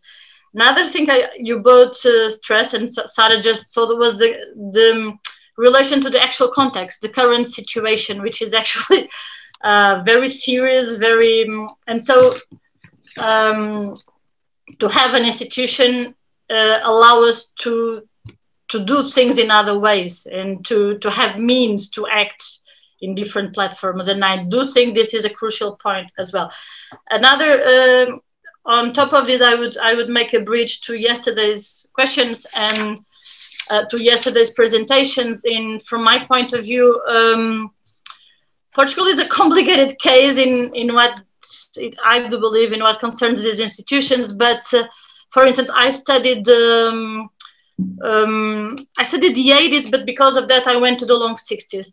And you, what you can see is that in dictatorship, there's a there's a whole network of institutions in dictatorship that are acting underground and that they are using their spaces to do a lot of things. Although it is not allowed.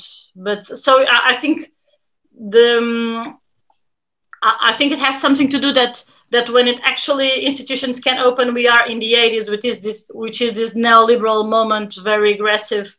Uh, we had Cavaco Silva, I mean, uh, a very, very narrow neoliberal uh, moment. But still, I do believe that there is this there is this tra tradition of this network of institutions that we're acting and we need to to know more about it. And we need to understand eh, even because ourselves we i mean when i was a kid there were these yugoslavian cartoons on the tv because the tv itself was a was a space for experimentation after the revolution. So there are a lot of things that, that they actually shaped ourselves but we we don't see them uh, sometimes we don't see where do, where do they come from. And when we start scratching we see that they come from this counterculture. Uh, so this is the relation between the old and the new that louise was putting. Um, my my final comment and this these are my questions. I would like you both to comment on um, the current pandemic moment i would say on institutions now, but also on the, the fragile position of cultural workers. And I'm thinking explicitly um, on the performing arts. I mean, we are at our theater. We we we receive food that we give to the network of uh, cultural workers. So it is really a very bad moment for uh, uh, cultural workers and um, um, theater and, and cinema and audiovisual in particular. So I, I, will I will end here and I will ask Anna to to to jump in. Thank you. Okay. Um, Anna, but what you say of giving a space, no.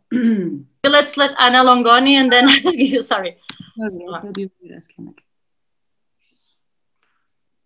Um, Bueno, muchísimas gracias por, la conversación que están proponiendo, que me parece muy valiosa y coincido con Marco que, efectivamente las dos experiencias tienen una escala muy, muy diferente, pero sin embargo es muy precioso reconocer las afinidades y también las complicidades que pueden tener ambas experiencias a pesar de su escala tan, tan distinta. Eh, querría lanzar una, pregunta o una reflexión a Marco en relación a la experiencia de Sale eh, y su, deriva por eh, el dispositivo de la exposición. la opción por, ese, por desarrollar ese dispositivo de la exposición, me preguntaba si esa táctica puede tener que ver con una estrategia de mímesis en medio de una ciudad como Venecia, donde el entorno está sobrepoblado de exhibiciones, eh, una táctica de mímesis para ser parte, aunque una parte evidentemente disruptiva, pero con una táctica de supervivencia en medio de ese contexto, la mímesis como estrategia de supervivencia, o bien se trata más, más de una táctica de disputar de confrontar la forma expositiva para pensar otras formas, otros modos de hacer exposiciones y evidentemente poner el foco de esas exposiciones en aquellas experiencias que están fuera del relato hegemónico que abunda en, el arte global que tiene su sede en Venecia. Esa es una pregunta. Y luego querría aprovechar esta la preciosa exposición que nos dio Sara, que además me parece muy, muy valioso pensar en estos momentos en que nos detenemos a pensar sobre la propia práctica que estamos eh, haciendo, que muy pocas veces nos permitimos esos momentos más autorreflexivos. Y pensando puntualmente en Museo Situado, que es una red bastante joven dentro del museo, es una red junto con la laboratoria las dos más jóvenes. Museo Situado tiene apenas un poquito más de tres años, eh, pero efectivamente en el, único, el último año de pandemia ha sido tremendamente urgente y necesaria eh, la, construcción en red que, que se venía haciendo, ese ejercicio de escucha en la asamblea, como lo describió Sara, sobre todo porque el último año ha sido y está siendo tremendamente crítico para muchísima gente que vive alrededor del museo. Un año de hambre, un año sin trabajo, un año de enfermedad, un año de mucho padecimiento. Y ahí es, me parece muy impactante darnos cuenta cómo ese ejercicio de construcción en red realmente hizo que el museo se transfigurara y que hoy no pase día sin que en el museo ocurran cosas muy insólitas para la lógica de una institución como el Reina Sofía, cosas como clases de español para migrantes o eh, una escuela de derechos para personas sin papeles para que puedan responder ante un interrogatorio policial o em, eh, una escuela de proximidad que va a tener sus clases el martes que el museo está cerrado al propio museo, por poner algunos pocos ejemplos, ¿no? Eh, en el barrio, al, museo situado, no le dicen museo situado, sino agujerear el museo. Y agujerear el, museo me parece una metáfora muy hermosa y muy potente de eso que está produciendo eh, este proceso de museo en red, que no solamente trata de pensar el museo fuera de sí, el museo desbordado, el museo que ocurre en otras partes, sino también trastorna y modifica y, amplía los límites de lo posible de lo que el museo, de lo que puede ocurrir adentro del museo, ¿no? Va afectando y alterando esas posibilidades, em, pienso en, cuanto a tensiones, eh, eh, sobre todo en dos. Por un lado, la, que hablábamos ayer, en nuestra conversación de ayer, entre activismo y museo, esas dos lógicas con tiempos distintos, con urgencias diferentes, con modos de hacer tan diversos y cómo eh, muchas veces entran en fricción, pero también la asamblea es un territorio donde se manifiestan muchas veces las fricciones al interior del propio activismo, distintas posiciones dentro del feminismo o distintas posiciones respecto de, por ejemplo, los bancos de alimentos que han surgido ahora en, el barrio. Me parece que la asamblea también da da cabida a, esas, a esos debates al interior del, del, activismo que muchas veces son muy tensos y muy difíciles. ¿no? Y respecto a esta fragilidad que marcaba Sara, ¿no? respecto de un proyecto encarnado por personas eh, y la vulnerabilidad de estos mm, movimientos que estamos eh, produciendo al interior de la institución y su y su posibilidad de continuar más allá de las gestiones concretas. Yo creo, eh, y lo digo eh, como una confesión personal quizás, bueno, yo en, dos meses me voy del museo, me regreso a la Argentina y yo sin embargo estoy segura de que Museo Situado va a continuar más allá de, de mi estar en el museo, porque efectivamente se ha construido un espacio donde el barrio se siente con pleno derecho a ocupar el museo, el barrio siente que el museo es de todas y puede ocurrir ahí desde un picnic hasta um, un taller de danza para empleadas del hogar o tantas otras cosas que antes no eran imaginables ahí. Y creo que ese es un derecho que va a ser indisputable, además de que efectivamente eh, hay mucha gente concreta en el museo, como Mabel, como Sara y como muchas otras, que van a sostener eh, el proyecto en el día a día, ¿no? Entonces, pienso que más allá de que el museo situado pueda mutar, pueda variar, pueda tener énfasis diferentes, eh, hay procesos que llegan para transformar una institución y que efectivamente es muy difícil eh, deshacer aún más allá de las gestiones personales. ¿no? Eso. Muchas gracias.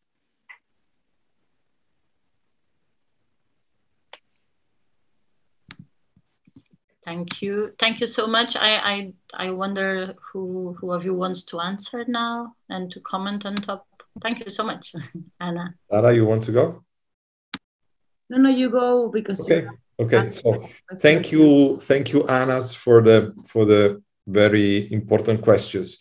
Well, uh, uh, concerning the effects of the pandemic, let's let's stay focused on Venice, but it's something that I, I think it, it is exemplary of a of a larger situation. So, for example, one one thing that uh, really describes how public museums uh, uh, reacted to the pandemic is the fact that uh, a few months ago, the civic museums of Venice, so public museums which are owned by the city of Venice and whose board of trustees is basically put there by the city council of Venice, uh, said that no matter no matter what were the, the, the decisions of the central Italian government, they would have been closed until April. We're speaking of February, and, and this decision was because there were no tourists in town.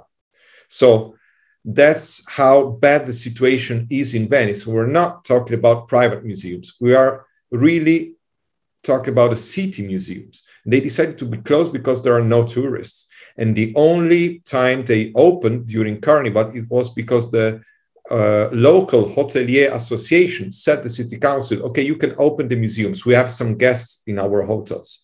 So this fortunately led to, to a reaction of the city, of, of, the, of the workers of the museums, and we, together with, with other groups and the workers of, of the museums, organized a demonstration which was, which was you know, pretty also participated uh, a month and a half ago. But you know, that's the that's I think something that gives you an idea of, of the problems we had. Not only uh, uh these institutions find difficult to rethink themselves in life in light of the pandemic, but they really kind of openly stick to the neoliberal receipt. Second question, the, the workers, and especially the, the workers uh, theater workers, they have been mobilizing non-stop for one year in Italy. Because again, even from, from the government, there are no, there are no, not even attempts at answering to this crisis of the economy of cultural events with some alternatives. The only thing is saying, okay, next week we will open, next week we will open, and then comes next week and nothing happens. You know, this this is and and and the welfare is totally absent. There is absolutely no welfare available for these workers, uh, only minimal measures.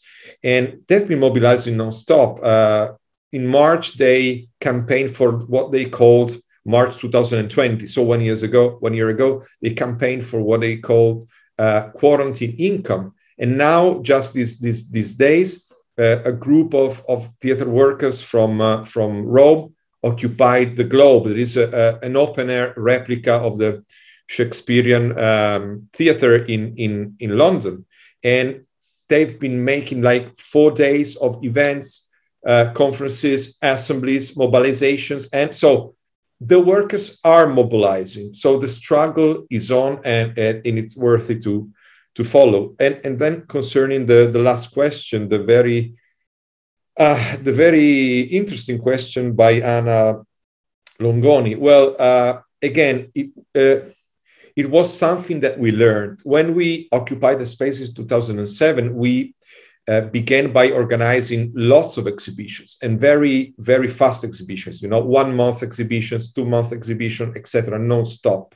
You know, then when we when we understood, you know, the problem of Venice, that Venice lives in an true inflation of exhibitions, we first of all decided to do less exhibitions and to and do and doing more of other things, workshops, trainings like the one that I that I showed, seminars or mixed formats, you know, formats where uh, exhibitions also have their discursive uh, side that is very relevant and crucial, and um, and this is something. On the other side, Open Six was exactly the result of a reflection of how not to replicate the, the, the, the, the exhibition as we uh, always see it in Venice.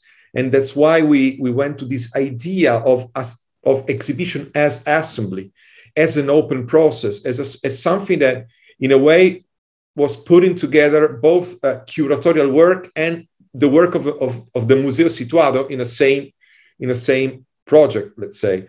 And uh, uh, of course, we also look with interest to uh, exhibitions as, as sort of, uh, let's say, a, a sort of uh, to, to, to museum research, to that type of exhibition. So, Perder la forma Humana, for us, I think it's a, it's a, it's an incredibly interesting, in, interesting model uh, but this is something that, to be honest, we have still to address concretely. But for example, such an exhibition is for us a model of, of the exhibition we like. You know, it's not based on hype of uh, fetishized objects, but it's based on the uh, discovery and a certain reading of archival, archival materials. And, and with all that that stands behind that you explained yesterday. Uh, but what is really evident, for example, even not even in Venice, but in the very neighborhood where, where is placed, is that we have we have many exhibition spaces.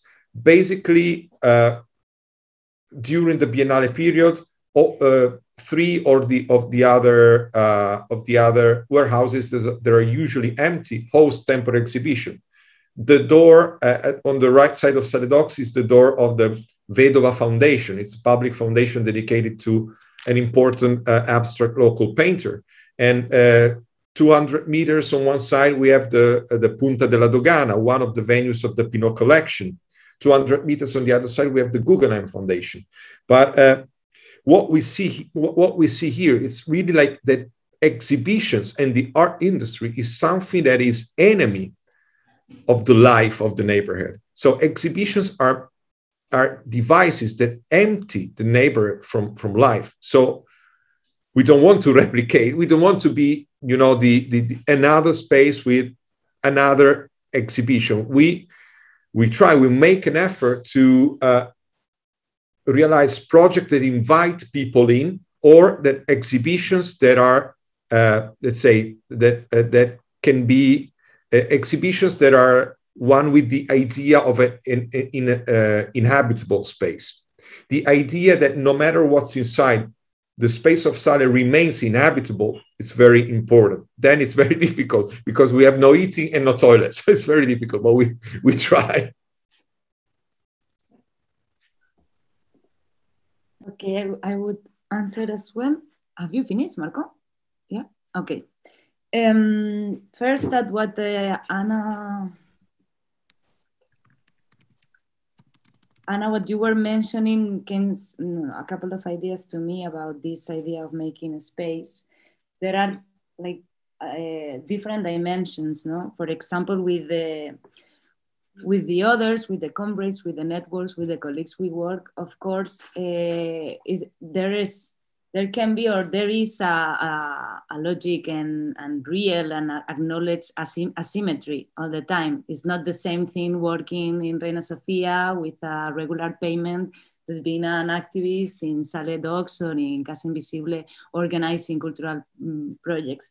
And this is an asymmetry that is uh, also so to say uh, there is like a, a, way a matter of redistribution of things but of course what we put for example no the, the, the structure of the museum allows us to put certain resources certain temporality and certain and, and this is um, something to to take it all the time how these asymmetries can be problematic or not and in terms of in the in, in, in the inside, that this is uh, almost a blink to my colleagues working in cultural institutions uh, or whatever uh, whatever they are um, is that as we all know these hierarchies that come that are inside the institutions many times kind of uh, paralyze the possibilities of the institution to change because there are many sub different subjectivities working in there.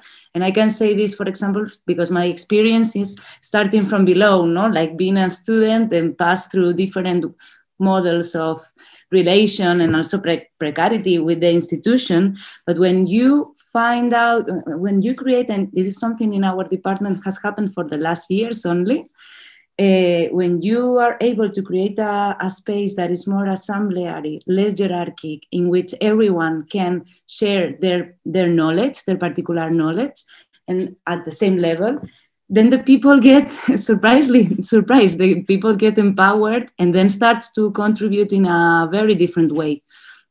And about the um, the question you made, Ana, about the current situation with pandemics, I think it's also important not publicly share these things uh, in these spaces of institutional reflection.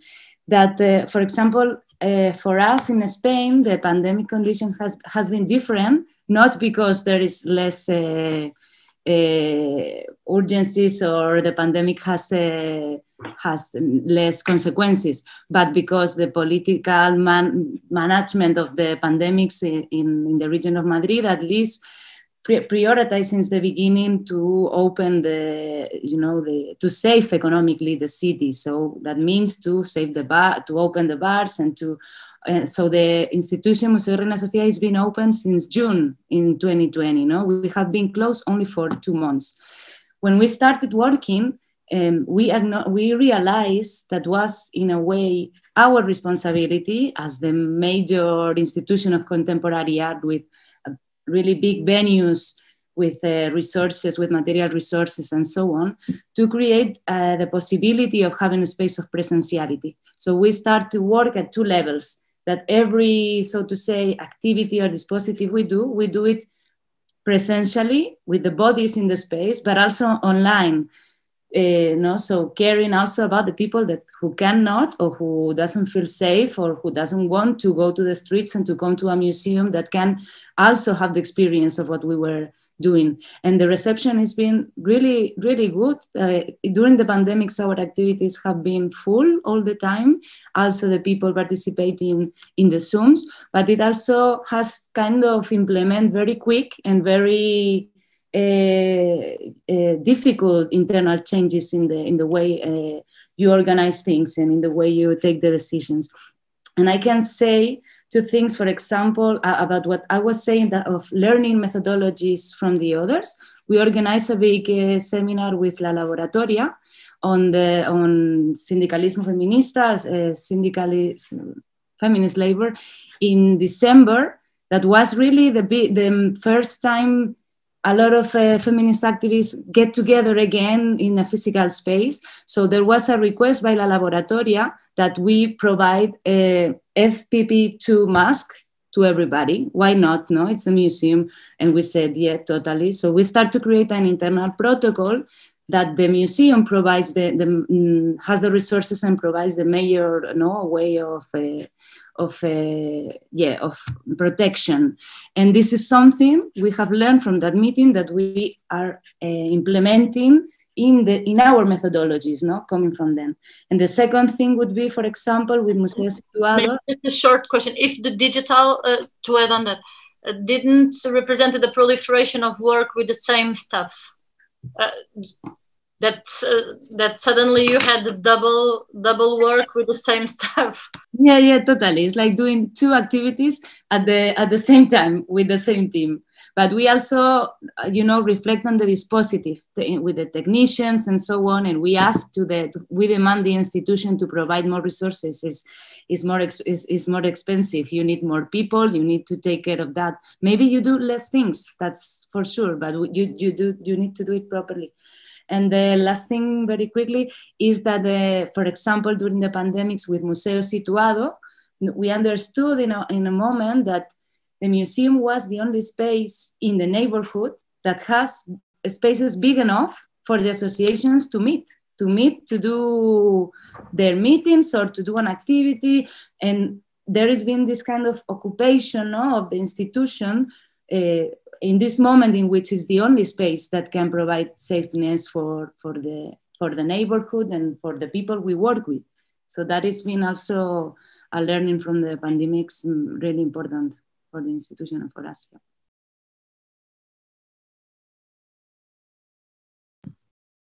Luis, I, I guess you want. I would I would just like to to to go back to the online uh, conversion uh, of institutional activity during the pandemic, and and it's it. I, I think Sara, you were you were mentioning it in in a really nice way because you never kind of let go of presentiality of of the body in the physical space, but um, most institutions and and and and most of the activities that were presented uh, online throughout the pandemic really abandoned the necessity of the body in a space or the body or the bodies together uh, in actuality in, in, in, a tangible way. Um, and and of course depending on how you do that but there is this institutional sanctioning of that and of that moving forward after the pandemic. And of course um, it, it, it is or, or, or under most circumstances it, it seemed to me that it was the the the ultimate denial of us coming together uh, or a, a, a very a very a very different sense of community that kind of let us be alone while retaining some sense of being together, but still casting us apart. Um, and of course, I, I, not to mention the, the, the labor conditions that that kind of enforced into an already precarious, uh, you know, community uh, that people were invited uh, to thousands of Zooms without getting paid, or, or, or people having to work twice as much because they had more things to produce online. And, and I, I don't think there was uh, a reflection on that. It was a kind of a let's go, uh, let's do it, let's not think about it. And I, I would like to hear you both about it? Okay, uh, I think that every if if this situation becomes like a, a project or something that is close to something final, this this acceleration of digi- digitalization, I think this is a, a, a huge problem. I think that every project or dream that foresees the, the that that wants to take away the body from the center of the cultural political scene is a reactionary project or dream mm-hmm. in the end. Uh, we could make lots of examples, but think of something that was very fashionable in the art world a few years ago accelerationism you know? so uh, at its worst it becomes like the idea of a prophecy of a, digitalized collective consciousness where the body is totally uh, is totally removed and not a democratic one mm-hmm. so i think i also think for example that not for maybe not so much for museums or biennials, but imagine art schools.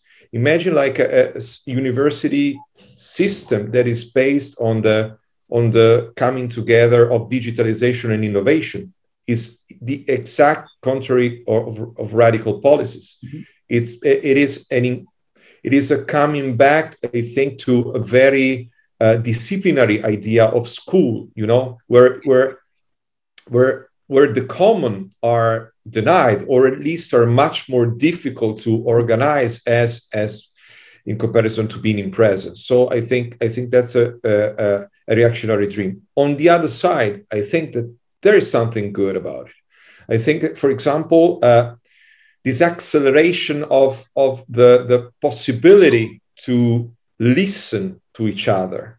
This is something that uh, i think is very difficult that people uh, would like to, to, to renounce to something like this, to the possibility, for example, of, of listening, of meeting, of speaking with, with, with uh, other people in other corners of the world in, in a way that it's anyway easier than it was before. I don't know if it's more sustainable because I don't know like the ecological costs of this, uh, uh, of the usage of, of, of this amount of internet connection. I have no idea in comparison, but I think that in comparison to flying around, exactly.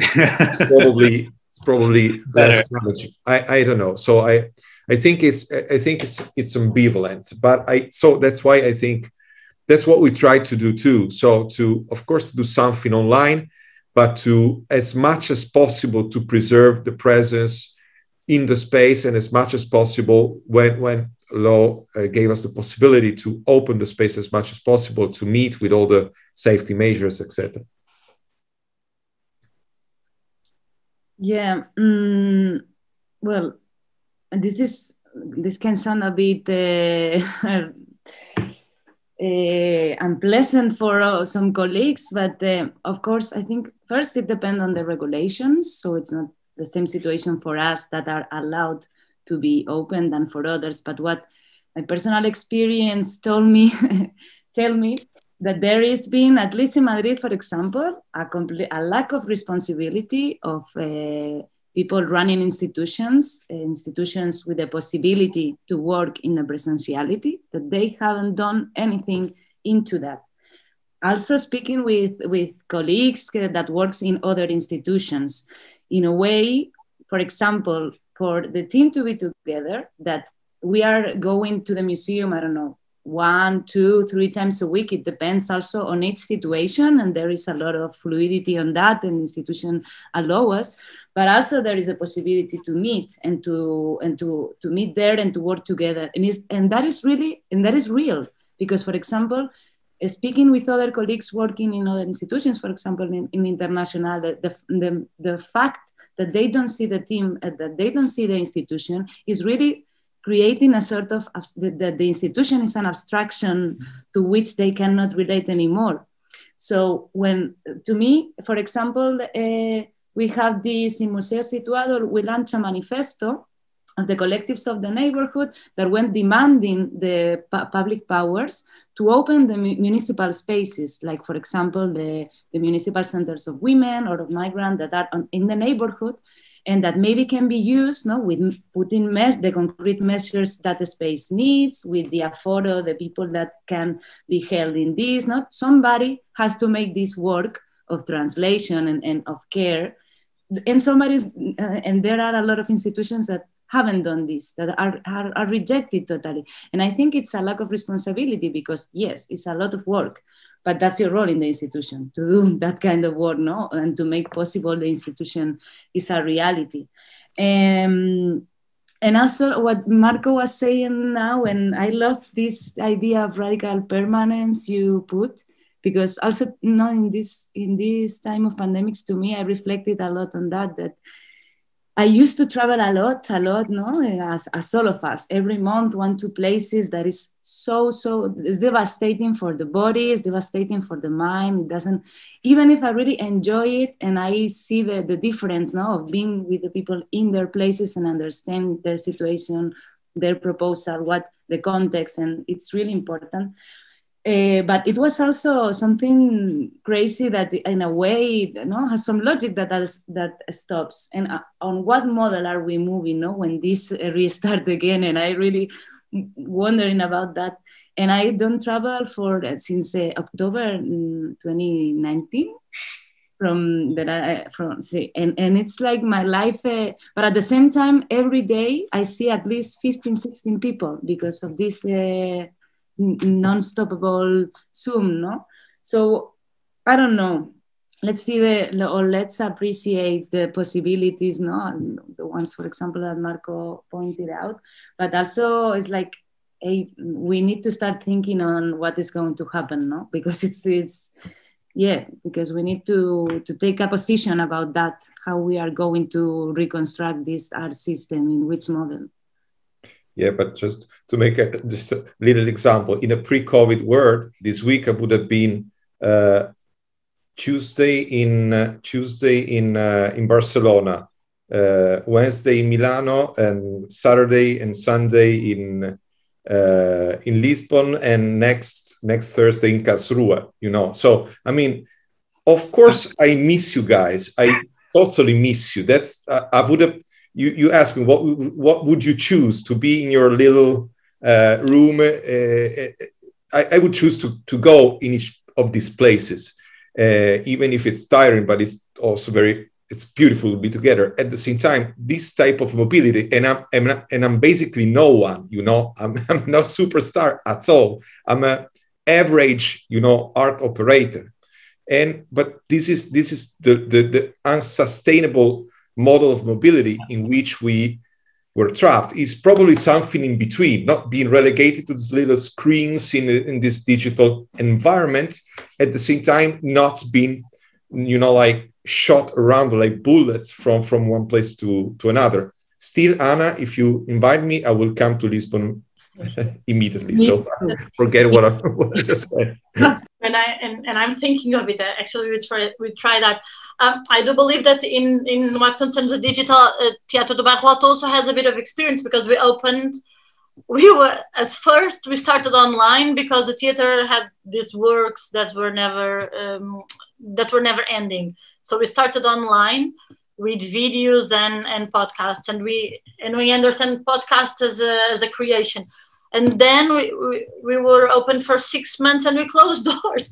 So it's uh, then we, we, had to react to what was going on. And in that sense i, I do believe from my personal experience that um, um, our uh, digital events have have had up until now different they work differently.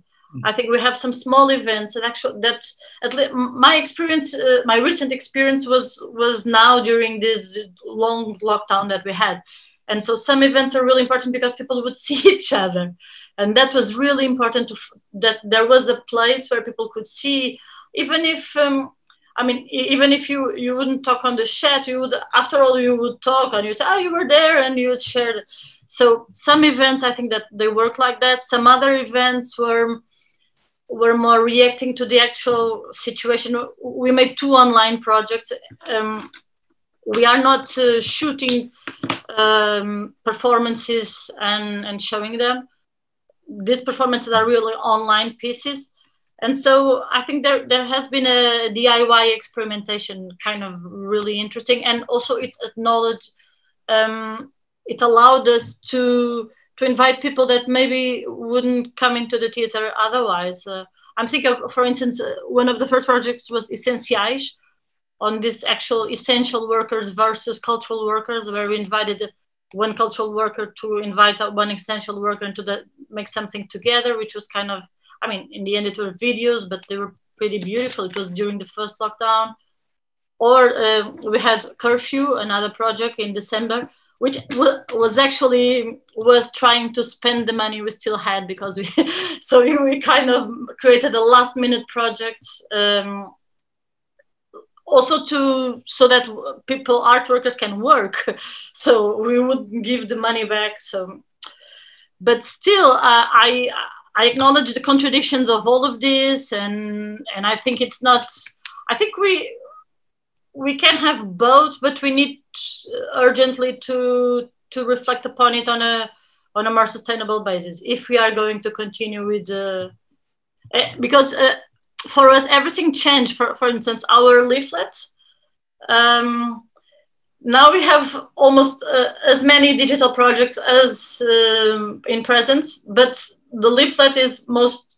I, I mean, the the the projects which are in present have more space, but but often the discursive projects are online, so they need more space. So it's kind of we always have this contradiction that it changes everything on how you think communication, on how you think how many workers you need on or for instance the fact that i need someone like nunu who is today here with us um, helping me because i couldn't be myself doing every so all of this uh, or even the fact that nunu's computer is having some problems so suddenly i need to jump in and stuff like this. I think we need to think all of this uh, if we're going to continue like this i do believe.